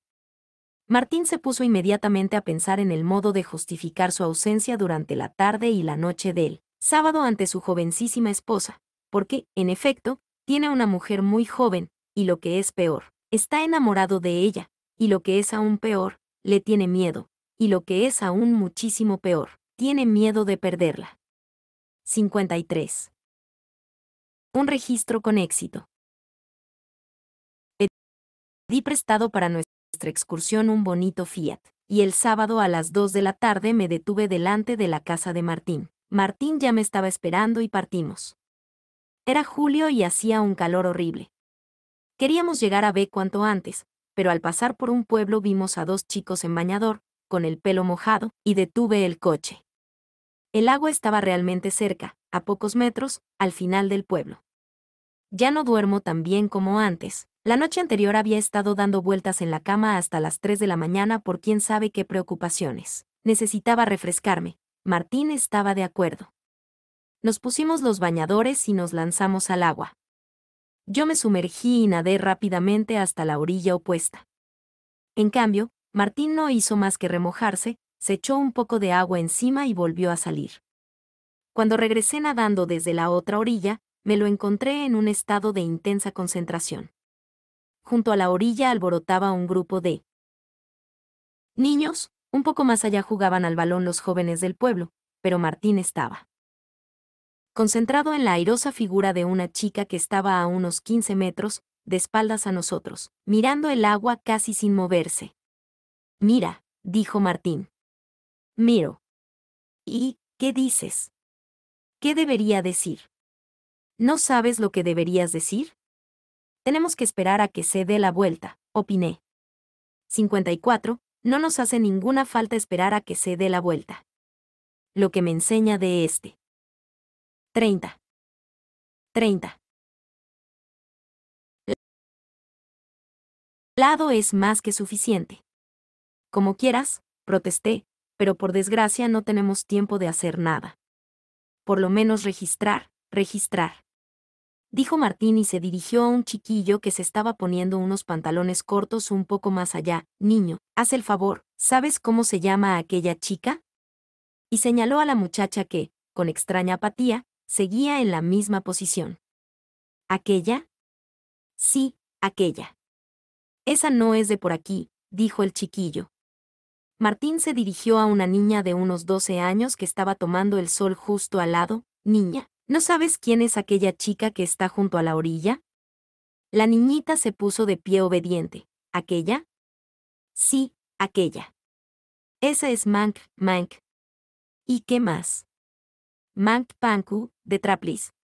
Y la chica seguía junto al agua, de espaldas a nosotros. Ahora se había agachado a buscar el gorro de baño, y cuando volvió a enderezarse, poniéndoselo en la cabeza, Martín ya estaba a mi lado y me decía es una tal Mank Panku, de Traplis. Podemos seguir viaje. Ya estaba completamente tranquilo, contento y evidentemente no pensaba más que en lo que nos quedaba de viaje. 55. Un poco de teoría. A esto le llama Martín registro. Parte de sus ricas experiencias, que le hicieron llegar a la conclusión de que no es tan difícil seducir a una chica como, si tenemos unas elevadas exigencias cuantitativas en este sentido, conocer siempre a una cantidad suficiente de chicas a las que hasta ahora no hemos seducido. Por eso afirma que es necesario siempre en cualquier sitio y en cualquier situación, llevar a cabo un amplio registro, es decir, apuntar, en un libro de notas o en la memoria, los nombres de las mujeres que han llamado nuestra atención y con las que alguna vez podríamos contactar. El contacto ya es un nivel más elevado de actividad e implica que establecemos con determinada mujer una relación, que la conocemos, que logramos tener acceso a ella.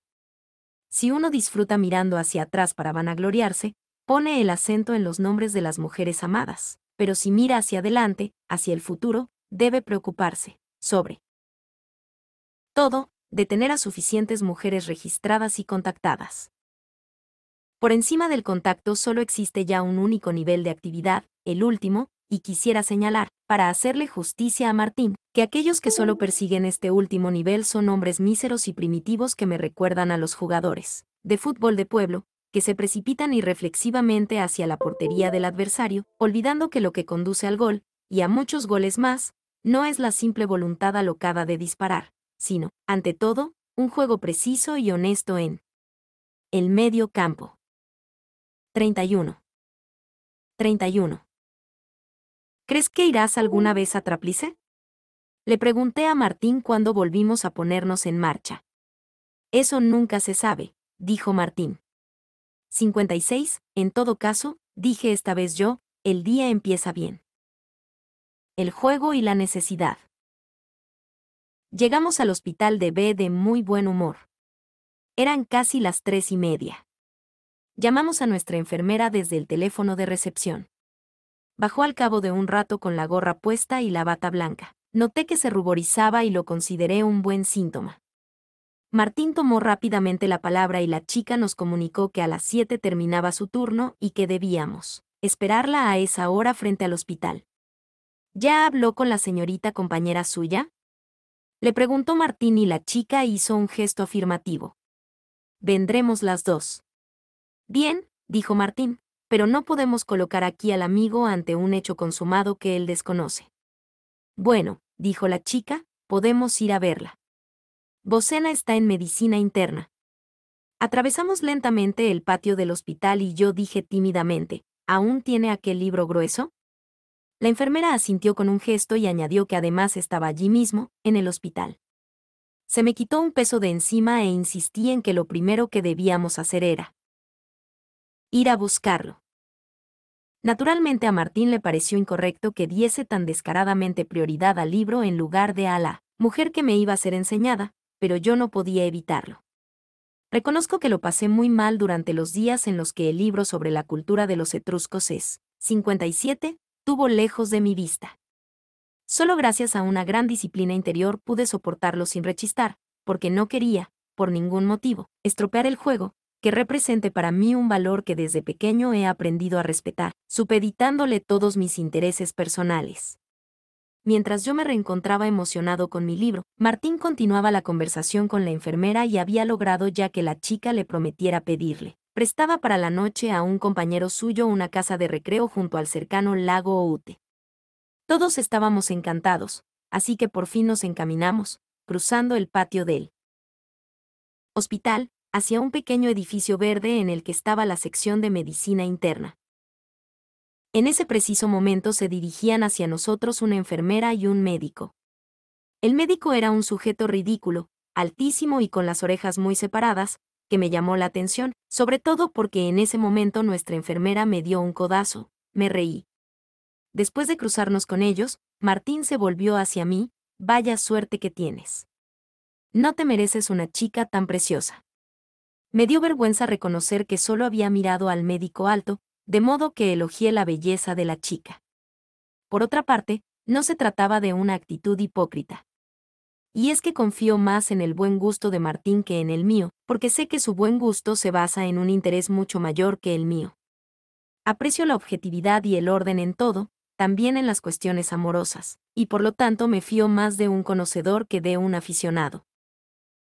32. 32. Alguien podría considerar una hipocresía el que me denomine aficionado, Do, un hombre divorciado que está relatando precisamente una de sus, al parecer nada infrecuentes, aventuras. Y sin embargo, soy un aficionado. Podría decirse que yo juego a algo que, 58, Martín vive. A veces tengo la sensación de que mi vida poligámica no procede más que de la imitación de otros hombres. No niego que en esta imitación he hallado placer. Pero no puedo evitar la sensación de que en ese placer sigue habiendo algo completamente libre, lúdico y irrevocable, algo como lo que caracteriza, por ejemplo, las visitas a las galerías de arte o a los paisajes desconocidos y que, no está en modo alguno sometido al imperativo incondicional que intuía en la vida erótica de Martín. Era precisamente la presencia de ese imperativo incondicional lo que hacía crecer ante mis ojos la estatura de Martín. Me daba la impresión de que los juicios que él emitía sobre una mujer los pronunciaba la naturaleza misma, la mismísima necesidad. Un rayo de hogar. Cuando salimos del hospital, Martín subrayó lo bien que nos estaba yendo todo, y luego añadió, claro que por la noche tendremos que darnos prisa. Quiero estar a las nueve en casa. Me quedé de piedra, ¿a las nueve? Eso quiere decir salir de aquí a las ocho. Entonces hemos hecho el viaje para nada. Creí que teníamos toda la noche libre. ¿Para qué quieres perder el tiempo? ¿Pero qué sentido tiene hacer este viaje para una hora? ¿Qué pretendes conseguir de las siete a las ocho? Todo. Ya viste que conseguí una casa, así que todo puede ir rodado. Solo dependerá de ti, de que actúes con suficiente decisión. ¿Y me puedes decir por qué tienes que estar a las nueve en casa? 59. Se lo he prometido a Girina. Ha cogido la costumbre de jugar a las cartas todos los sábados antes de acostarse. Dios mío. Suspiré. Girina ha vuelto a tener ayer problemas en la oficina, ¿cómo voy a privarla de esta? ¿Pequeña satisfacción de los sábados? Ya lo sabes, es la mejor mujer que jamás he tenido. Además, añadió, tú también estarás contento de llegar a Praga con toda la noche por delante. Comprendí que era inútil protestar. Los temores de Martín con respecto a la tranquilidad de su mujer no podían ser acallados en modo alguno, y su fe en las infinitas posibilidades eróticas de cada hora y cada minuto era inconmovible. Vamos, dijo Martín, nos quedan tres horas hasta las siete. No perdamos el tiempo. El engaño. Tomamos por el amplio camino del parque local, que servía de paseo a los habitantes de la ciudad. Observamos a las parejas de chicas que pasaban a nuestro lado o estaban sentadas en los bancos, pero no nos satisfacieron sus cualidades. 33. 33. Martín saludó a dos de ellas, les dio conversación y hasta concertó una cita, pero yo sabía que no lo hacía en serio. Era el denominado contacto de entrenamiento, que Martín ejercitaba de vez en cuando para no perder la forma. Abandonamos el parque y nos internamos por las calles, que irradiaban el vacío y el aburrimiento propios de una ciudad pequeña. 60, vamos a beber algo, tengo sed, le dije a Martín. Encontramos un edificio encima del cual había un cartel, cafetería. Entramos, pero no era más que un autoservicio, una sala con las paredes de azulejos que resumaban frialdad. Nos acercamos al mostrador, le pedimos a una señora desagradable dos vasos de agua coloreada y nos los llevamos a una mesa que estaba manchada de salsa y nos invitaba a marcharnos de allí cuanto antes. No lo tengas en cuenta, dijo Martín, la fealdad tiene en nuestro mundo su función positiva. Nadie quiere pasar mucho tiempo en ningún sitio, la gente se da prisa por irse de todas partes y así se logra el ritmo de vida deseado. Pero nosotros no nos dejaremos provocar. Aquí, en la tranquilidad de este horrendo local, podemos hablar de muchas cosas. Le dio un sorbo a su limonada y me preguntó, ¿ya contactaste con la médica? Por supuesto, le dije. ¿Y qué tal está? Descríbemela con todo detalle. Le describí a la médica. No me dio mucho trabajo a pesar de que la médica en cuestión no existía. Sí. Puede que eso me haga quedar mal, pero es así, me la inventé. Juro que no lo hice por motivos espuros, para quedar bien ante Martín, o para tomarle el pelo. Me inventé a la médica simplemente porque no fui capaz de hacer frente a la insistencia de Martín. Las exigencias que tenía Martín con respecto a mi actividad eran inmensas. Martín estaba convencido de que yo conocía todos los días a mujeres nuevas. Me veía de un modo distinto a como yo era en realidad, y si le hubiese dicho la verdad, que en toda la semana no solo no había conquistado a ninguna mujer nueva, sino que ni siquiera me había topado con ninguna, me habría considerado un hipócrita. Por eso me había visto obligado, hace cosa de una, 61, semana, a fingir el registro de una médica. Martín se alegró y me incitó a contactarla. Y ahora controlaba mis progresos. ¿Y a qué nivel está? Está al nivel de, cerró los ojos y se puso a cazar entre las tinieblas algún modelo comparable. Entonces acordó de una amiga común, ¿está al nivel de Marquete? Es muy superior, dije. No me digas, se asombró Martín. Está al nivel de tu girina. Su propia mujer era para Martín el más elevado de los modelos. Martín se quedó muy feliz con mis noticias y se puso a soñar. Un contacto con éxito. En ese momento entró en la sala una chica con pantalones de pana y anorak. Fue hasta el mostrador, esperó a que le sirvieran una limonada y fue a bebérsela. Se detuvo junto a la mesa que estaba al lado de la nuestra, se llevó el vaso a los labios y se puso a beberla sin sentarse. 34. 34. Martín se volvió hacia ella. Señorita, dijo, somos de fuera y tenemos una pregunta que hacerle. La chica sonrió. Era bastante guapa. Tenemos mucho calor y no sabemos qué hacer. Vayan a bañarse. Ese es precisamente el problema. No sabemos dónde puede uno bañarse en este sitio.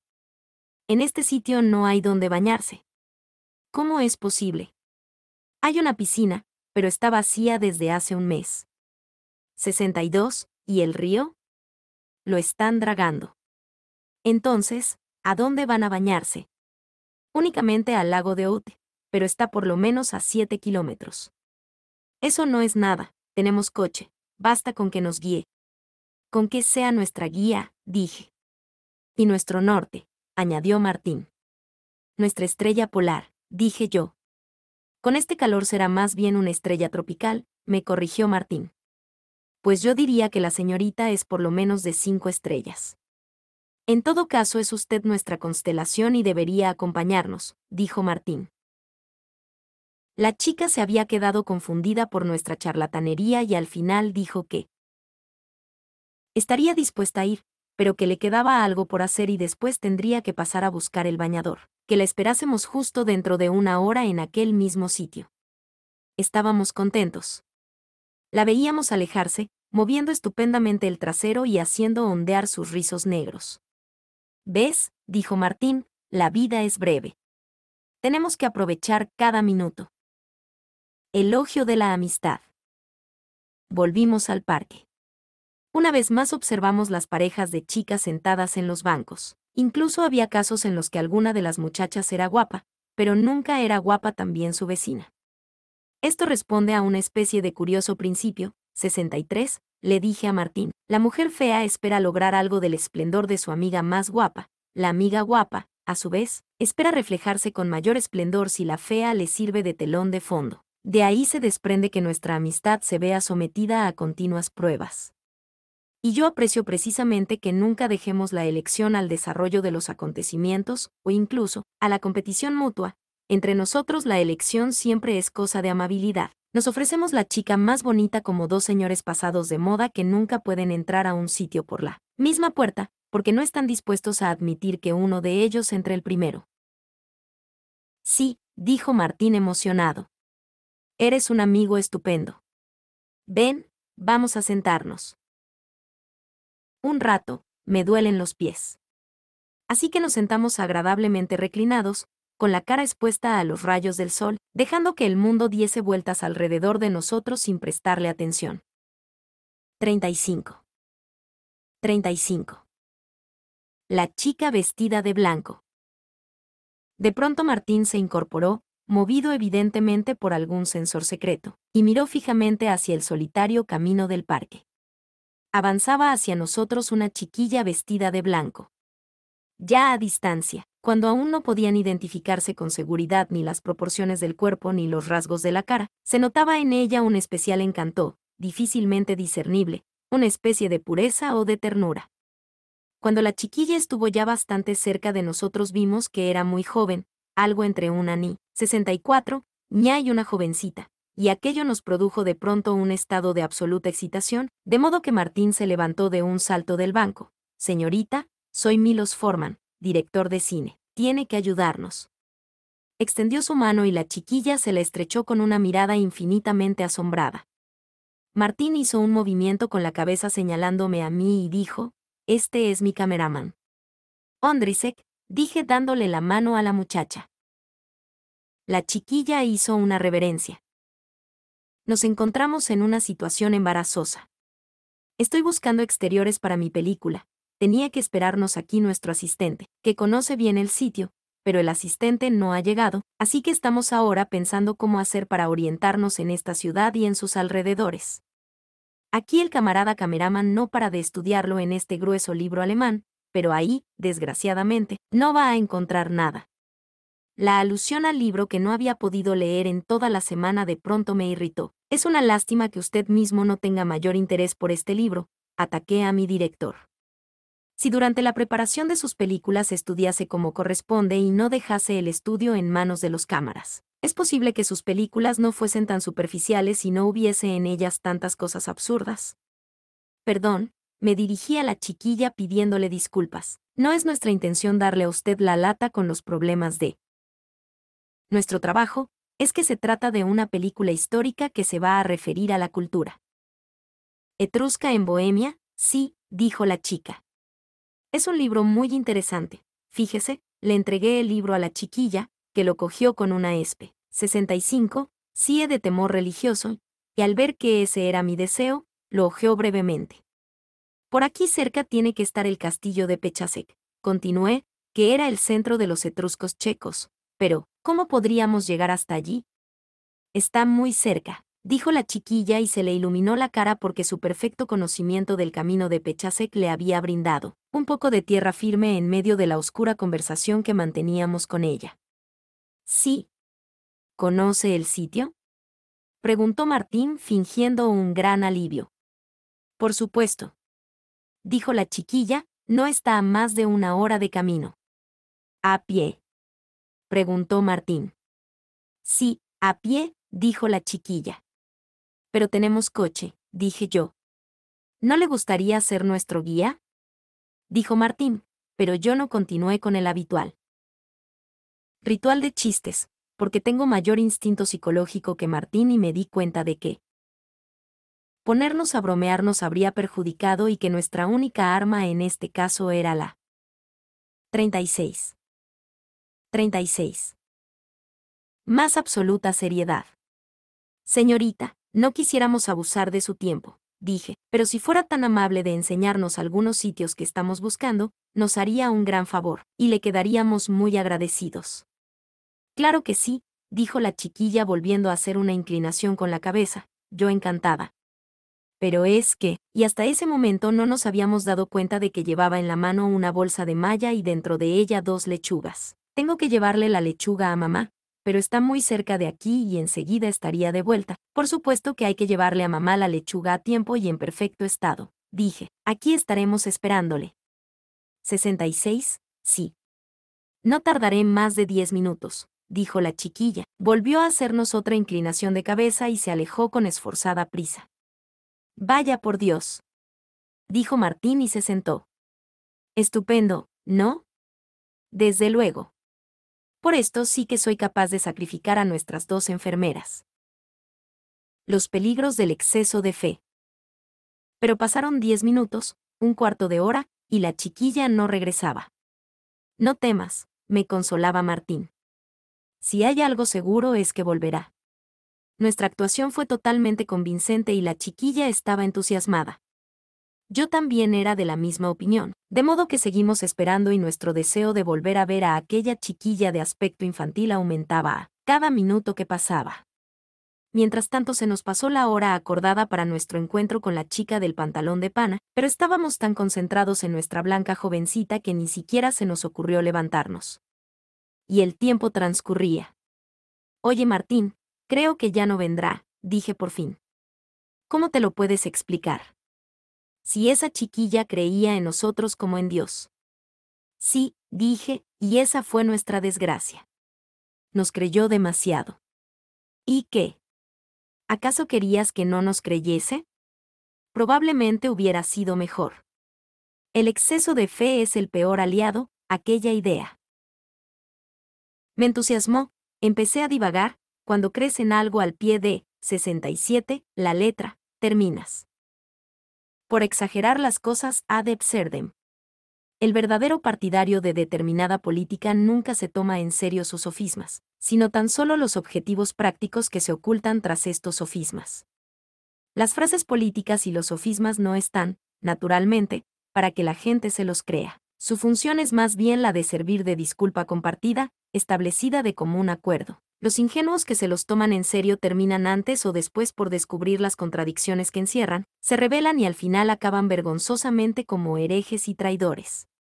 No, el exceso de fe nunca trae nada bueno y no solo a los sistemas políticos o religiosos, ni siquiera a un sistema como el que nosotros queríamos emplear para conquistar a la chiquilla. Me parece que ya no te entiendo, dijo Martín. Es bastante comprensible, para esta chiquilla éramos solo dos señores serios e importantes. 37. 37. ¿Y entonces por qué no nos hizo caso? Porque creía demasiado en nosotros. Le dio a su mamá la lechuga y enseguida se puso a hablarle de nosotros entusiasmada, de la película histórica, de los etruscos en Bohemia y la mamá, ya, lo demás ya me lo imagino, me interrumpió Martín levantándose del banco la traición. Por lo demás, el sol ya se estaba poniendo lentamente sobre los tejados de la ciudad. Había refrescado levemente y estábamos tristes. Fuimos por si acaso a mirar al autoservicio para ver si por algún error nos esperaba la chica del pantalón de pana. Naturalmente no estaba. Eran las seis y media. Nos dirigimos hacia 68, el coche, con la repentina sensación de dos personas que han sido desterradas de una ciudad extraña y de sus placeres. Decidimos que no nos quedaba otro remedio que recluirnos en el espacio extraterritorial de nuestro propio coche. Pero bueno. Me gritó Martín en el coche. No pongas esa cara de entierro. No hay ningún motivo para eso. Lo principal aún nos espera. Tenía ganas de objetar que para lo principal apenas nos había quedado una hora, por culpa de Girina y su partida de cartas, pero preferí callar. Además, prosiguió Martín, el día ha sido provechoso, el registro de aquella. Chica de Traplis, el contacto de la señorita del pantalón de pana, ¿no ves que ya tenemos él? Terreno preparado, ¿no ves que ya no hace falta más que pasar otra vez por aquí? No protesté. En efecto, el registro y el contacto habían sido realizados estupendamente. Hasta ahí todo era perfecto. Pero en ese momento me puse a pensar que, durante el último año, Martín, aparte de incontables registros y contactos, no había llegado absolutamente a nada que valiese la pena. Lo miré. Sus ojos relucían como siempre con el brillo del deseo. En aquel momento sentí que le tenía aprecio a Martín y que también le tenía aprecio a la enseña bajo la cual se pasaba la vida marchando, la enseña del eterno acoso a las mujeres. Pasó el tiempo y Martín dijo, son las siete. Nos detuvimos a unos diez metros de la puerta del hospital, de modo que yo pudiese vigilar con toda seguridad por el retrovisor a las personas que salían. Seguía pensando en aquella enseña. Y también en que, con cada año que pasaba, lo que cada vez importaba menos de aquel acoso a las mujeres eran las mujeres, y lo que cada vez importaba más era el acoso en sí. Siempre que se trate de antemano de una persecu, 69, Sion es posible perseguir diariamente a cualquier cantidad de mujeres y convertir así este acoso en un acoso absoluto. Llevábamos cinco minutos esperando. Las chicas no aparecían. Aquello no me intranquilizaba en lo más mínimo. Al fin y al cabo, daba absolutamente lo mismo que viniesen o no. Aunque viniesen, íbamos a poder en una sola hora ir con ellas hasta una casa de recreo alejada, entrar en confianza, hacerles el amor y a las ocho despedirnos amablemente y marcharnos? No, en el momento en que Martín limitó nuestras disponibilidades de tiempo a las ocho de la tarde, desplazó, como tantas otras veces, toda esta aventura al terreno del juego, jugábamos a engañarnos a nosotros mismos. 38. 38. Pasaron diez minutos. Por la puerta no salía nadie. Martín estaba indignado y casi gritaba, les doy otros cinco minutos. No esperaré más. Martín ya no es joven, seguí reflexionando. Ama con total fidelidad a su mujer. Vive de hecho en el más ordenado de los matrimonios. Esa es la realidad. Y por encima de esa realidad, y al mismo tiempo que ella, continúa la juventud de Martín, inquieta, alegre y extraviada, una juventud convertida solo en un juego, incapaz de traspasar ya los límites de su campo de juego, de llegar hasta la vida misma y convertirse en realidad. Y como Martín es un ciego caballero de la necesidad, transformó sin darse cuenta sus aventuras en un inofensivo juego. Sigue poniendo en ellas todo el entusiasmo de su alma. Bien, me dije. Martín es prisionero de su propio engaño, pero, ¿y yo? ¿Y yo? ¿Por qué le ayudo yo en este ridículo juego? Porque yo, sabiendo que todo esto es un engaño, finjo. ¿Igual que él? ¿No resulto así aún más ridículo que Martín? ¿Por qué tengo que po, 70, ne? En este momento cara de estar ante una aventura amorosa, sabiendo que lo más que me espera es una hora absolutamente inútil con unas chicas extrañas e indiferentes? En ese momento vi por el espejo a dos mujeres jóvenes que aparecieron por la puerta del hospital. Desde lejos se notaba ya el brillo del maquillaje y el carmín. Iban vestidas con llamativa elegancia y su retraso estaba evidentemente relacionado con su cuidado aspecto. Miraron a su alrededor y se dirigieron hacia nuestro coche. Martín, no hay nada que hacer, dije ocultando la presencia de las chicas. Ya pasó el cuarto de hora. Vamos, y apreté el acelerador. La contrición. Salimos de B, dejamos atrás las últimas casas y entramos en un paisaje de prados y vascuecilos, sobre cuyas cumbres caía un sol enorme. Íbamos en silencio. Yo pensaba en Judas Iscariote, de quien un ingenioso autor dice que traicionó a Jesús precisamente porque creía ilimitadamente en él. Estaba impaciente por ver el milagro con el que Jesús pondría en evidencia ante todos los judíos su poder divino. Por eso lo entregó, para provocarlo y hacerlo actuar de una vez. Lo traicionó porque deseaba acelerar su triunfo. Vaya, me dije, yo en cambio he traicionado a Martín precisamente porque había dejado de creer en él, y en su poder divino como mujeriego, soy una vergonzosa mezcla de Judas Iscariote y Tomás, a quien llamaban, el incrédulo. Sentí como mi culpabilidad hacía crecer dentro de mí mis sentimientos hacia Martín y Co. 71, mozo enseña del eterno acoso, a la que se oía flamear sobre nosotros. Me ponía nostálgico hasta hacerme llorar. Empecé a echarme en cara mi precipitada actuación. ¿Acaso yo mismo seré capaz de despedirme con mayor facilidad de esos ademanes que para mí significan la juventud? ¿Y podré entonces hacer al menos otra cosa que imitarlos y tratar de encontrar para esta nada razonable actividad un sitio seguro en mi razonable vida? ¿Qué importa si todo es un juego vano? ¿Qué importa si lo sé? ¿Acaso dejaré de jugar solo porque sea vano? La dorada manzana del eterno deseo. 39. 39. Estaba sentado a mi lado y lentamente se iba disipando su mal humor. Oye, me dijo, esa médica, ¿es verdaderamente de tanta categoría? Ya te lo dije. Está al nivel de tu girina. Martín me hizo más preguntas. Tuve que volver a describírsela.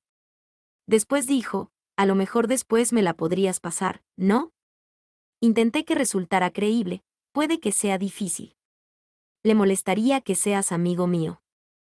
Es de principios firmes, es de principios firmes, dijo Martín con tristeza y se veía que le daba pena. No quería hacerlo sufrir. A no ser que ocultase que te conozco, dije. Podrías hacerte pasar por otra persona. Magnífico. Por ejemplo, por Forman, como hoy. Los directores de cine no le gustan. Prefiere más bien a los deportistas. 72, ¿por qué no? Dijo Martín. Todo es posible, y al cabo de un momento ya estábamos en pleno debate. El plan estaba cada vez más claro y al cabo de un rato ya se balanceaba ante nosotros. En medio de la niebla que comenzaba a caer, como una manzana hermosa, madura, esplendorosa. Permítanme que con cierto énfasis la denomine la manzana dorada del eterno deseo. 73. 40. 40. Tercera parte. El falso autostop. 41. 41. 1.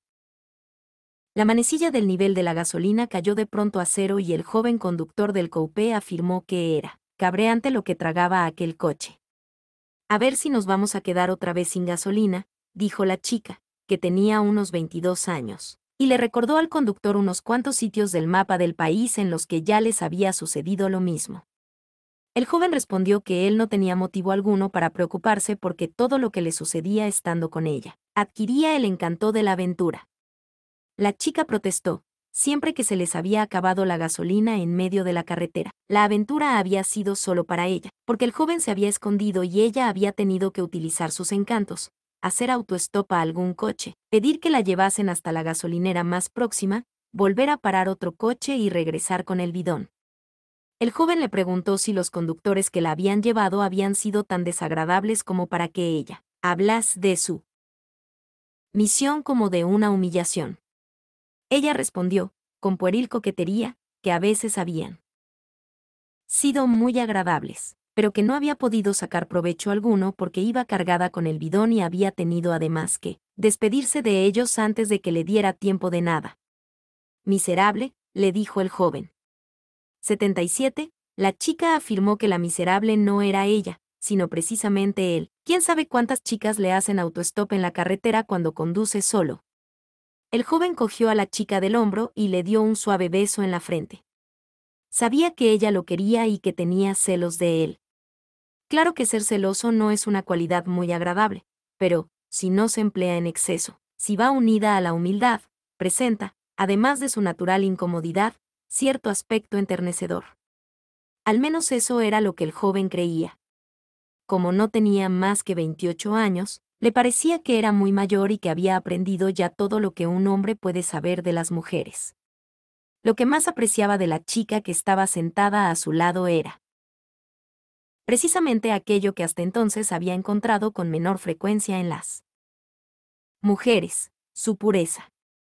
La manecilla ya estaba a cero cuando el joven vio a la derecha un cartel que indicaba, con un dibujo en negro de un surtidor, que la gasolinera estaba a 500 metros.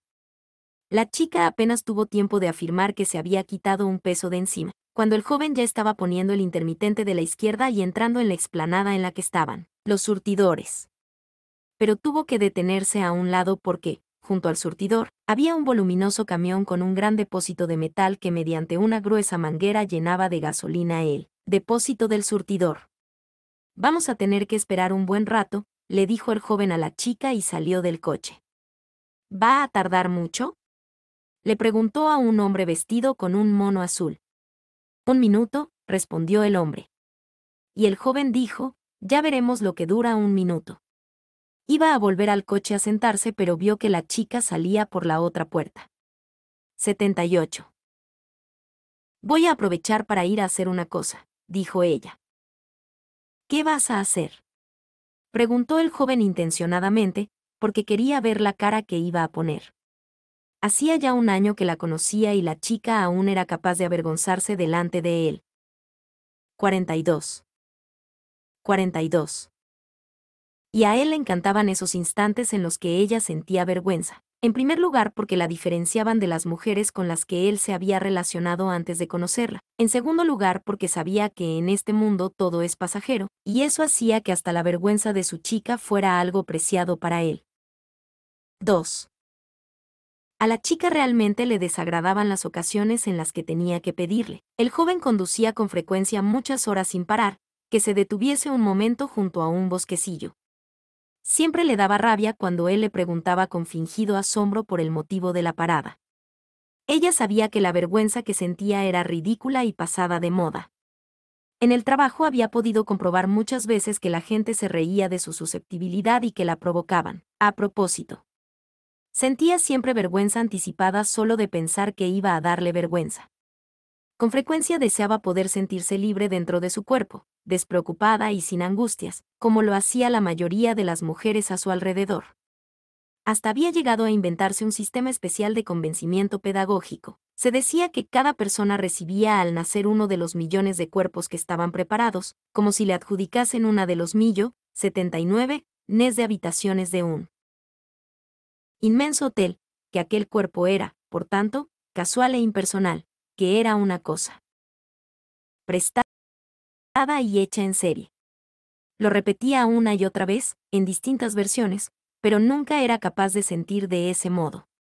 Aquel dualismo del cuerpo y el alma le era ajeno. Ella misma era excesivamente su propio cuerpo, y por eso siempre lo sentía con angustia. Con esa misma angustia se había aproximado también al joven a quien había conocido hacía un año y con el que era feliz quizá precisamente porque nunca separaba su cuerpo de su alma y con él podía vivir por entero. En aquella indivisión residía su felicidad, solo que tras la felicidad siempre se agazapaba la sospecha, y la chica estaba llena de sospechas. Con frecuencia pensaba que las otras mujeres, las que no se angustiaban, eran más seductoras y atractivas, y que el joven, que no ocultaba que conocía bien a aquel tipo de mujeres, se le iría alguna vez con alguna de ellas. Es cierto que el joven afirmaba que ya estaba harto de ese tipo de mujeres para el resto de su vida, pero la chica sabía que él era mucho más joven de lo que pensaba. Ella quería que fuese suyo por completo y ser ella por completo de él, pero con frecuencia le parecía que cuanto más trataba de dárselo todo, más le negaba algo, lo que da precisamente el amor carente de profundidad y superficial, lo que da el flirt. Sufría por no saber ser, además de seria, ligera. Pero esta vez no sufría ni pensaba en nada de eso se sentía a gusto. Era su primer día de vacaciones. 14 días de vacaciones en los que durante todo el año había centrado su deseo, el cielo estaba azul. Todo el año había estado preguntándose horrorizada si el cielo estaría verdaderamente azul, y él estaba con ella. Azú, ¿qué vas a hacer? respondió ruborizándose y se alejó del coche sin decir palabra. Dejó a su lado la estación de servicio que estaba al borde de la K-80, retera, completamente solitaria. En medio del campo, a unos 100 metros de allí, en la misma dirección en la que iban, empezaba el bosque. Se dirigió hacia él, se escondió tras un arbusto y disfrutó durante todo ese tiempo de una sensación de satisfacción. Es que hasta la alegría que produce la presencia del hombre a quien se ama se siente mejor a solas. Si la presencia de él fuera continua, solo estaría presente en su constante transcurrir. Detenerla solo es posible en los ratos de soledad. 43. 43.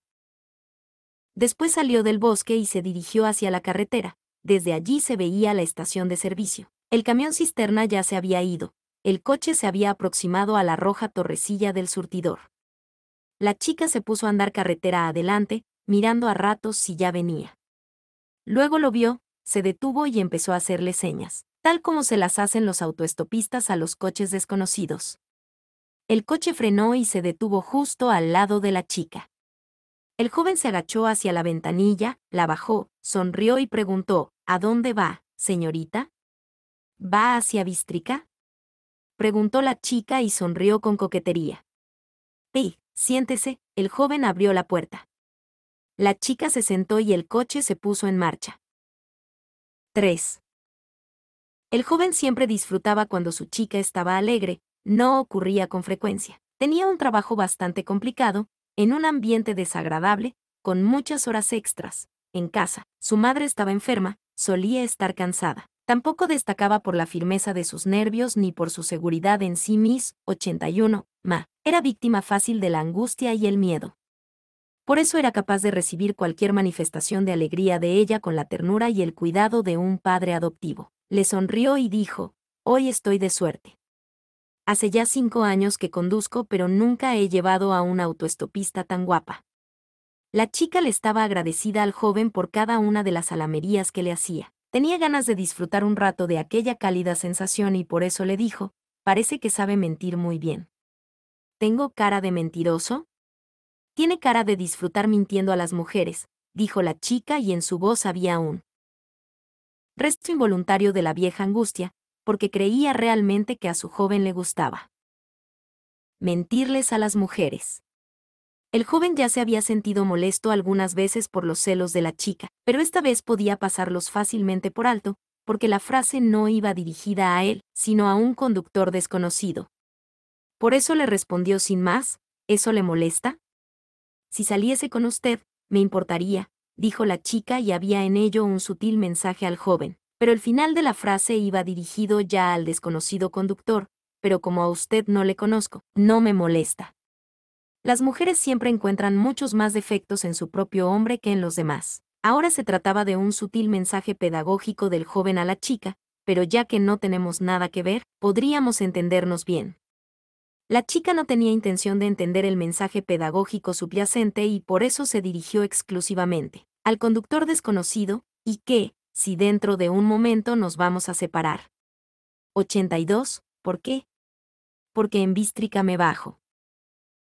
¿Y qué pasaría si yo me bajase con usted? Al oír estas palabras la chica miró al joven y comprobó que tenía exactamente él.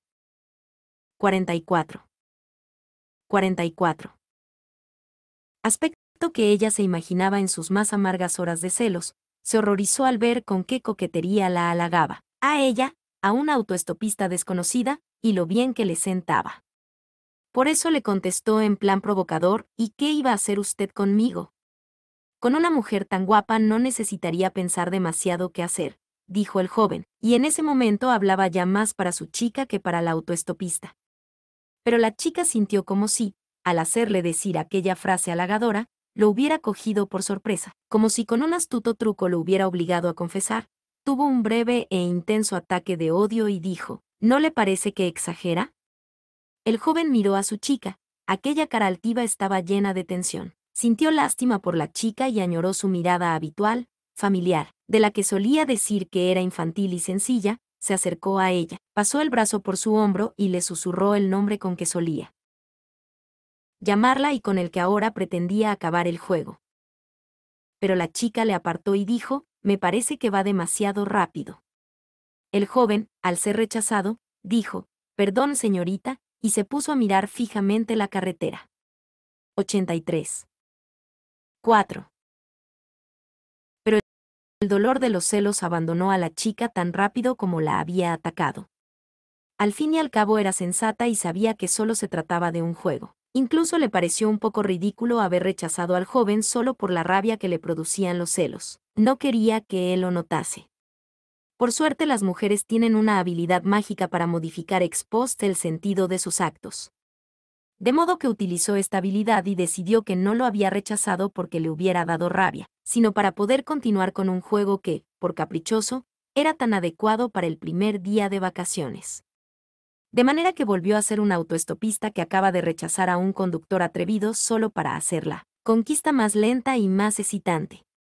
Se volvió hacia el joven y le dijo con voz melosa, no era mi intención ofenderle. Perdón, no volveré a tocarla, dijo el joven. Estaba enfadado con la chica por no haberle hecho caso y haberse negado a volver a ser. Ella misma cuando tanto lo deseaba, y como la chica seguía con su máscara, el joven le traspasó su enfado a la desconocida autoestopista que ella representaba, y así descubrió de pronto el carácter de su papel. Abandonó la galantería con la que había pretendido halagar indirectamente a su chica y empezó a ser de hombre, duro que al dirigirse a las mujeres pone de relieve más bien los aspectos vastos de la masculinidad, la voluntad, el sarcasmo, la confianza en sí mismo. Este papel era contradictorio con las atenciones que habitualmente le dedicaba el joven a la chica. Es verdad que antes de conocerla se comportaba con las mujeres de un modo más bien brusco que delicado, pero nunca había llegado a parecer un hombre demoníacamente duro porque no sobresalía ni por su fuer. 84, ha de voluntad ni por su falta de miramientos. Pero si nunca lo había parecido, tanto más había deseado en otros tiempos. 45. 45. Parecerlo. Se trata seguramente de un deseo bastante ingenuo, pero que se le va a hacer. Los deseos infantiles salvan todos los obstáculos que les pone el espíritu maduro y con frecuencia perduran más que él hasta la última vejez. Y aquel deseo infantil aprovechó rápidamente la oportunidad de asumir el papel que se le ofrecía. A la chica le venía muy bien el distanciamiento sarcástico del joven, la liberaba de sí misma. Ella misma era, ante todo, celos. En el momento en que dejó de ver a su lado al joven galante que trataba de seducirla y vio su cara inaccesible, sus celos se acallaron. La chica podía olvidarse de sí misma y entregarse a su papel. ¿Su papel? ¿Cuál? Era un papel de literatura barata. Un autoestopista había parado un coche, no para que la llevase, sino para seducir al hombre que iba en el coche. Era una seductora experimentada que dominaba estupendamente sus encantos. La chica Secom. Penetró con aquel estúpido personaje de novela con una facilidad que a ella misma la dejó. Acto seguido, sorprendida y encantada. Y así iban en coche y charlaban, un conductor desconocido y una autoestopista desconocida. 5. No había nada que el joven hubiera echado tanto en falta en su vida como la despreocupación. La carretera de su vida había sido diseñada con despiadada severidad. Su empleo no acababa con las ocho horas de trabajo diario, invadía también el resto de su tiempo. 85, con el aburrimiento obligado de las reuniones y del estudio en casa, invadía también, a través de la atención que le prestaban sus innumerables compañeros y compañeras, el escasísimo tiempo de su vida privada, que, nunca permanecía en secreto y que por lo demás se había convertido ya un par de veces en objeto de cotilleos y de debate público. Ni siquiera las dos semanas de vacaciones le brindaban una sensación de liberación y de aventura. Hasta aquí llegaba la sombra gris de la severa planificación. La escasez de casas de veraneo en nuestro país le había obligado a reservar con medio año de antelación la habitación en los Montes Tatre, para y lo cual había necesitado una recomendación del comité de su empresa, cuya omnipresente alma no le perdía así la pista. Ni por un momento. Ya se había hecho a la idea de todo aquello, pero, de vez en cuando, tenía la horrible sensación de que le obligaban a ir por una carretera en la que todos le veían y de la que no podía desviarse. Ahora mismo volvía a tener esa sensación. Un extraño cortocircuito hizo que identificase la carretera imaginaria con la carretera verdadera por la que iba y eso le sugirió de pronto la idea de hacer una locura. ¿A dónde dijo que quería ir? A Vanskavístrica, respondió. ¿Y qué va a hacer allí? He quedado con una persona. ¿Con quién? Con un señor. El coche se aproximaba a un cruce de caminos importante. El conductor disminuyó la velocidad para poder leer las señales que indicaban la dirección. Luego dobló a la derecha. ¿Y qué pasaría si no llegase a su cita? 46. 46. Sería culpa suya y tendría que ocuparse de mí. Seguramente no se ha dado cuenta de que he doblado hacia Nov Samki. 86. ¿De verdad? Se ha vuelto loco. No tenga miedo, yo me ocuparé de usted, dijo el joven. De pronto el juego había adquirido un nivel superior. El coche no solo se alejaba de su objetivo imaginario en Vanskavístrica, sino también del objetivo real hacia el que había partido por la mañana, los Tatre y la habitación reservada. De pronto la vida de ficción atacaba a la vida sin ficción. El joven se alejaba de sí mismo y de la severa ruta de la que hasta ahora nunca se había desviado pero sí había dicho que iba a los pequeños Tatre. Se asombró la chica. Señorita, yo voy a donde quiero. Soy un hombre libre y hago lo que quiero y lo que me da la gana. 6. Cuando llegaron a Nov Samki, empezaba a hacerse de noche. El joven nunca había estado allí y tardó un rato en orientarse. Detuvo varias veces el coche para preguntar a los viandantes dónde estaba el hotel. Había varias calles en obras, de modo que, aunque el hotel estaba muy cerca, según afirmaban todas las personas a las que les había preguntado, el camino daba tantas vueltas y tenía tantos desvíos que tardaron casi un cuarto de hora en aparcar el coche. El hotel no tenía un aspecto muy agradable, pero era el único hotel de la ciudad y el joven ya no tenía ganas de seguir conduciendo.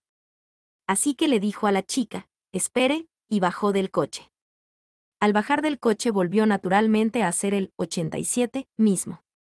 Y le pareció un fastidio encontrarse por la noche en un sitio completamente distinto del que había planeado, y resultaba aún más fastidioso porque nadie le había obligado y ni siquiera él mismo lo había pretendido. Se echaba en cara la locura que había cometido, pero al final acabó por restarle importancia. La habitación de los Tatre podía esperar hasta el día siguiente y no está mal celebrar el primer día de vacaciones con algo inesperado. Atravesó el restaurante, lleno de humo, repletó, ruidoso, y preguntó por la recepción. Le indicaron que siguiese hasta la escalera, donde, tras una puerta de cristal, estaba sentada una rubia de aspecto anticuado bajo un tablero lleno de llaves. Le costó trabajo obtener la llave de la única habitación libre. La chica, al quedarse sola, también prescindió de su papel. Pero le fastidiaba encontrarse en una ciudad extraña. Estaba tan entregada al joven que no dudaba de nada de lo que él hacía y dejaba en sus manos, con toda confianza, las horas de su vida. Pero en cambio volvió a pensar que quizá, tal como ella ahora, otras mujeres con las que se encontraba en sus viajes de trabajo esperarían al joven en su coche.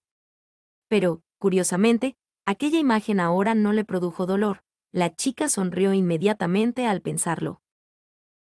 Hermoso que era que esa mujer extraña fuese ahora ella, aquella mujer extraña.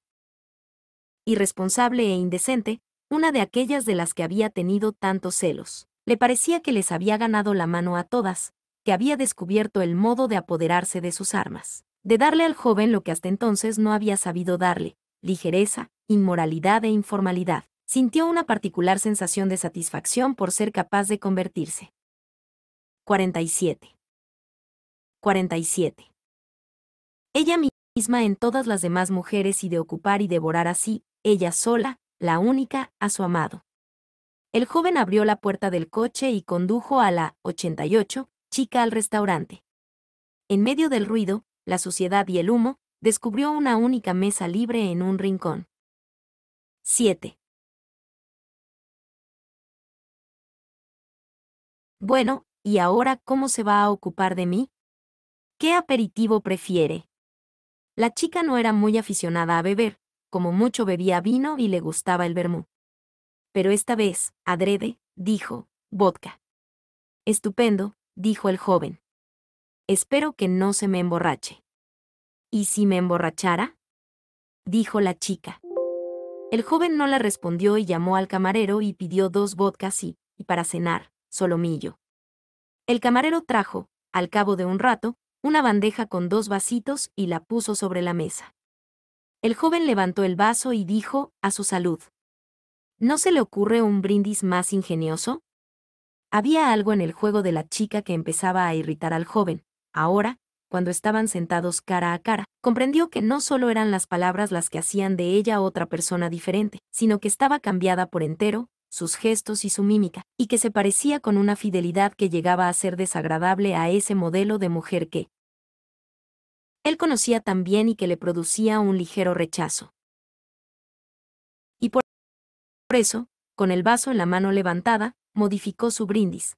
Bien, entonces no brindaré por usted, sino por 89, su especie, en la que se conjuga con tanto acierto lo mejor del animal y lo peor del hombre. ¿Cuándo habla de esa especie se refiere a todas las mujeres? preguntó la chica. No, me refiero solo a las que se parecen a usted.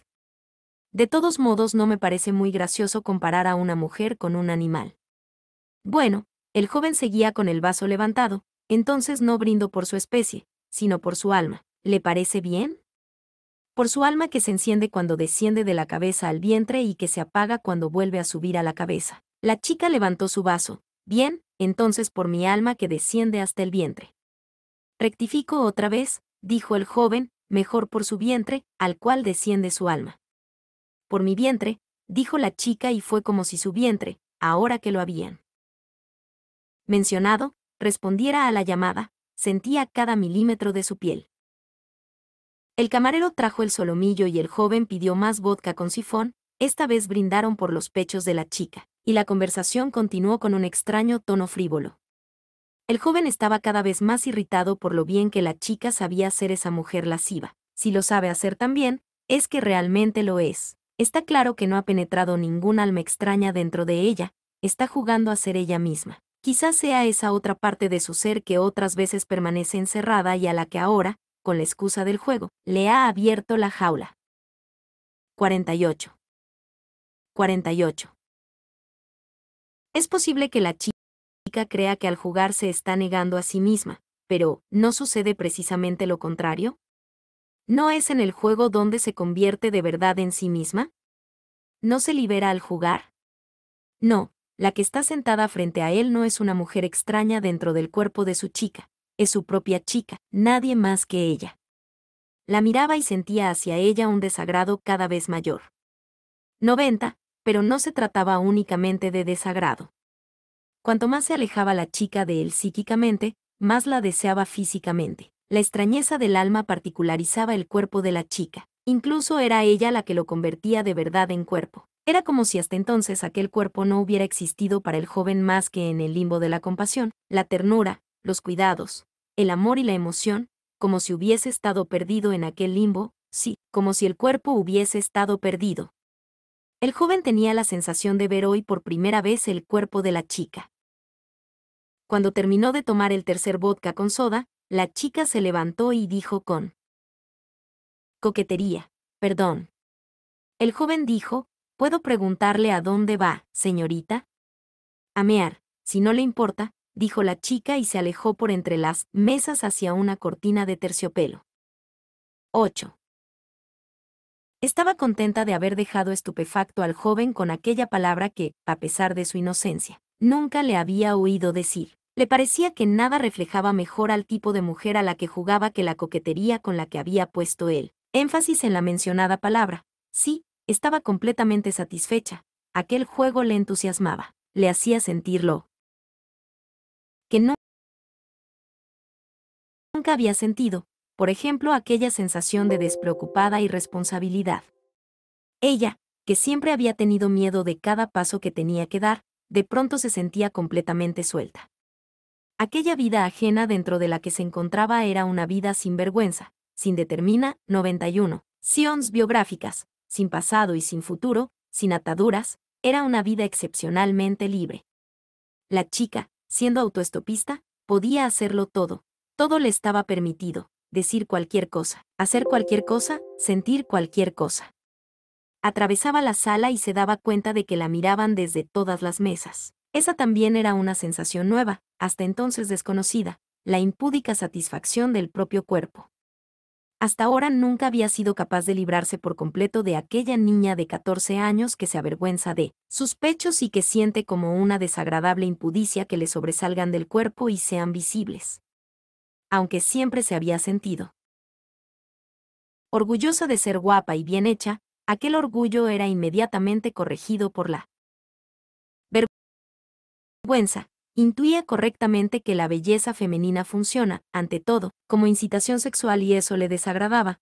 Ansiaba que su cuerpo solo se dirigiese al hombre que amaba. Cuando los hombres le miraban los pechos en la calle, le parecía que con ello arrasaban una parte de su más secreta intimidad que solo le pertenecía a ella y a su amante. Pero ahora era una autoestopista, una mujer sin destino. Se había visto privada de las tiernas ataduras de su amor y había empezado a tomar intensa conciencia de su cuerpo. Lo sentía. 49. 49. Con tanta mayor excitación cuanto más extraños eran los ojos que la observaban. Cuando pasaba junto a la última mesa, un individuo medio borracho, deseando jactarse de ser un hombre de mundo, le dijo en francés, ¿con bien, mademoiselle? La chica lo entendió. Irguió el cuerpo, sintiendo cada uno de los movimientos de sus caderas, desapareció tras la cortina. 92. Noé. Todo aquello era un juego raro. La rareza consistía, por ejemplo, en que el joven, aunque había asumido estupendamente la función de conductor desconocido, no dejaba de ver en la autoestopista desconocida a su chica. Y eso era precisamente lo más doloroso. Veía a su chica seducir a un hombre desconocido y disfrutaba del amargo privilegio de estar presente. Veía de cerca el aspecto que tiene y lo que dice cuando lo engaña, cuando lo engañaba, cuando lo va a engañar. Tenía el paradójico honor de ser el mismo objeto de su infidelidad lo peor era que la adoraba más de lo que la amaba. Siempre le había parecido que su ser solo era real dentro de los límites de la fidelidad y la pureza y que más. Allá de esos límites simplemente no existía, que más allá de aquellos límites habría dejado de ser ella misma, tal como el agua deja de ser agua más allá del límite de la ebullición. Ahora, al verla trasponer con natural elegancia aquel horrible límite, se llenaba de rabia. La chica volvió del servicio y se quejó. de aquellos me dijo, ¿con bien, mademoiselle? No se asombre, dijo el joven, tiene usted aspecto de furcia. ¿Sabe que no me molesta en absoluto? Debía haberse ido con ese señor. Ya le tengo a usted. Puede irse con él después. ¿Por qué no se ponen de acuerdo? No me gusta. Pero no tiene usted inconveniente en estar una misma noche con varios hombres. Si son guapos, ¿por qué no? ¿Los prefiere uno tras otro o al mismo tiempo? 93. De las dos maneras. La conversación era una suma de barbaridades cada vez mayores. La chica estaba un poco espantada, pero no podía protestar. También el juego encierra falta de libertad para el hombre, también el juego es una trampa para el jugador. Si aquello no fuera un juego, si estuvieran sentadas frente a frente dos personas extrañas, la autoestopista se hubiera podido ofender hace tiempo y hubiera podido marcharse. Pero el juego no tiene escapatoria. El equipo no puede huir del campo antes de que finalice el juego, las piezas de ajedrez no. Pueden escaparse del tablero, los límites del campo de juego no pueden traspasarse. La chica sabía que tenía que aceptar cualquier juego, precisamente porque era un juego. Sabía que cuanto más exagerado fuera, más sería un juego y más obediente iba a tener que ser al jugar. Y era inútil invocar la razón y advertir al alma alocada que debía mantener las distancias con respecto al juego y no tomárselo en serio. Precisamente porque se trataba solo de un juego, el alma no tenía miedo, no se resistía y caía en él como alucinada. 50. 50. El joven llamó al camarero y pagó la cuenta. Luego se levantó y le dijo a la chica, podemos ir. ¿A dónde? Fingió asombro la chica. No pregunte si camina, dijo el joven. ¿Con quién se cree que está hablando? Con una furcia, dijo el joven. 10. Iban por una escalera mal iluminada. En el descansillo, antes del primer piso, había un grupo de 94 hombres medio borrachos delante de la puerta del retrete. El joven abrazó a la chica por la espalda, de tal modo que su mano apretaba el pecho de ella. Los hombres que estaban junto al retrete lo vieron y empezaron a dar gritos. La chica intentó soltarse, pero el joven le gritó, Aguanta. Los hombres aprobaron su actitud con safia solidaridad y le dirigieron a la chica unas cuantas groserías. El joven llegó con la chica al primer piso y abrió la puerta de la habitación. Encendió la luz. Era una habitación estrecha con dos camas, una mesilla, una silla y un lavabo. El joven cerró la puerta y se volvió hacia la chica. Estaba frente a él con un gesto de suficiencia y una mirada descaradamente sensual. El joven la miraba y trataba de descubrir, tras la expresión lasciva, los familiares rasgos de la chica, a los que amaba con ternura. Era como si mirase dos imágenes metidas en un mismo visor, dos imágenes puestas una encima de otra y que se transparentasen la una a través de la otra. Aquellas dos imágenes que se transparentaban le decían que en la chica había de todo, que su alma era terriblemente amorfa, que cabía en ella la fidelidad y la infidelidad, la traición y la inocencia, la coquetería y el recato. Aquella mezcla brutal le parecía asquerosa como la variedad de un basurero.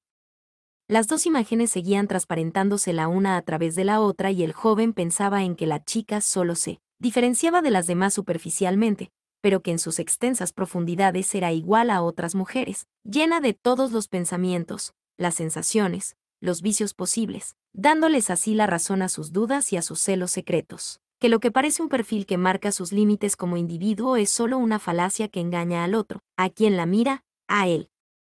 Le parecía que aquella chica, tal como él la quería, no. Era más que un producto de su deseo, de 95, su capacidad de abstracción, de su confianza. Y que la chica real estaba ahora ante él y era desesperadamente extraña, desesperadamente ambigua. La odiaba. ¿Qué estás esperando? Desnudet, dijo. La chica inclinó con coquetería la cabeza y dijo, ¿para qué? El tono con que lo dijo le resultó muy familiar. Le pareció que hace ya mucho tiempo se lo había oído a otra mujer, pero ya no sabía a cuál. Tenía ganas de humillarla. No al autoestopista, sino a su propia chica. El juego se había confundido con la vida. Jugar a humillar al autoestopista no era más que una excusa para humillar a la chica.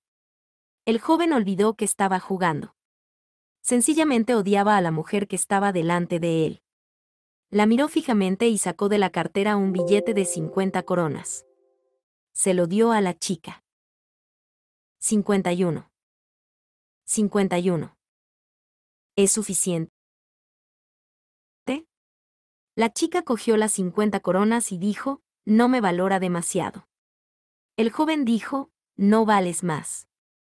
La chica se abrazó al joven, no debes portarte así conmigo.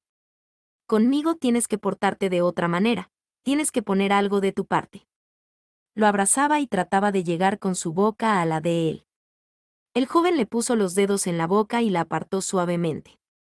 Dijo, solo beso a las mujeres cuando las quiero. ¿Y a mí no me quieres? No. ¿Y a quién quieres? ¿A ti qué te importa? Desnudek. 96. 11. Nunca se había desnudado así. La timidez, el sentimiento interior de pánico, el alocamiento, todo lo que siempre había sentido al desnudarse delante del joven, cuando no la tapaba la oscuridad, todo aquello había desaparecido. Ahora estaba frente a él confiada, descarada, iluminada y sorprendida al descubrir de pronto los hasta entonces desconocidos gestos del desnudo lento y excitante. Percibía sus miradas, iba dejando a un lado, con mimo, cada una de sus prendas y saboreaba los distintos estadios de la desnudez. Pero de pronto se encontró ante él totalmente desnuda y en ese momento se dijo que el juego había terminado que al quitarse la ropa se ha quitado también el disfraz y que ahora está desnuda, lo cual significa que ahora vuelve a ser ella misma y que el joven ahora tiene que acercarse a ella y hacer un gesto, con el que lo borre todo, tras el cual solo vendrá ya el más íntimo acto amoroso. Así que se quedó desnuda delante del joven y en ese momento dejó de jugar, estaba perpleja y en su cara apareció una sonrisa que era de verdad solo suya. Tímida y confusa pero el joven no se acercó a ella y no borró el juego. No percibió la sonrisa que le era familiar, solo veía ante sí el hermoso cuerpo extraño de su propia chica, a la que odiaba. El odio limpió su sensualidad de cualquier resto de sentimientos. Ella quiso acercarse, pero él le dijo, Quédate donde estás, quiero verte bien. Lo único que ahora deseaba era comportarse con ella como con una furcia de alquiler.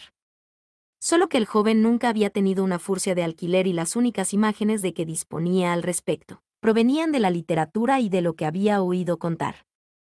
Se remitió por lo tanto a aquellas imágenes y lo primero que vio en ellas fue a una mujer en ropa interior. NE 97, Gra, con medias negras, bailando sobre la reluciente tapa de un piano.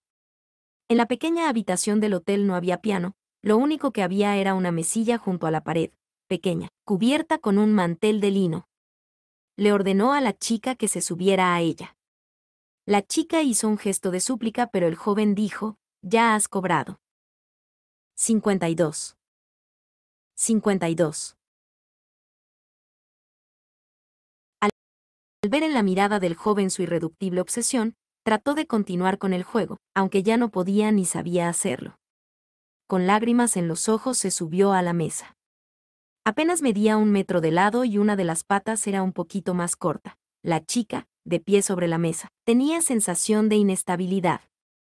Pero el joven estaba satisfecho con la figura desnuda que se elevaba por encima de él y cuya avergonzada inseguridad no hacía más que incrementar su autoritarismo.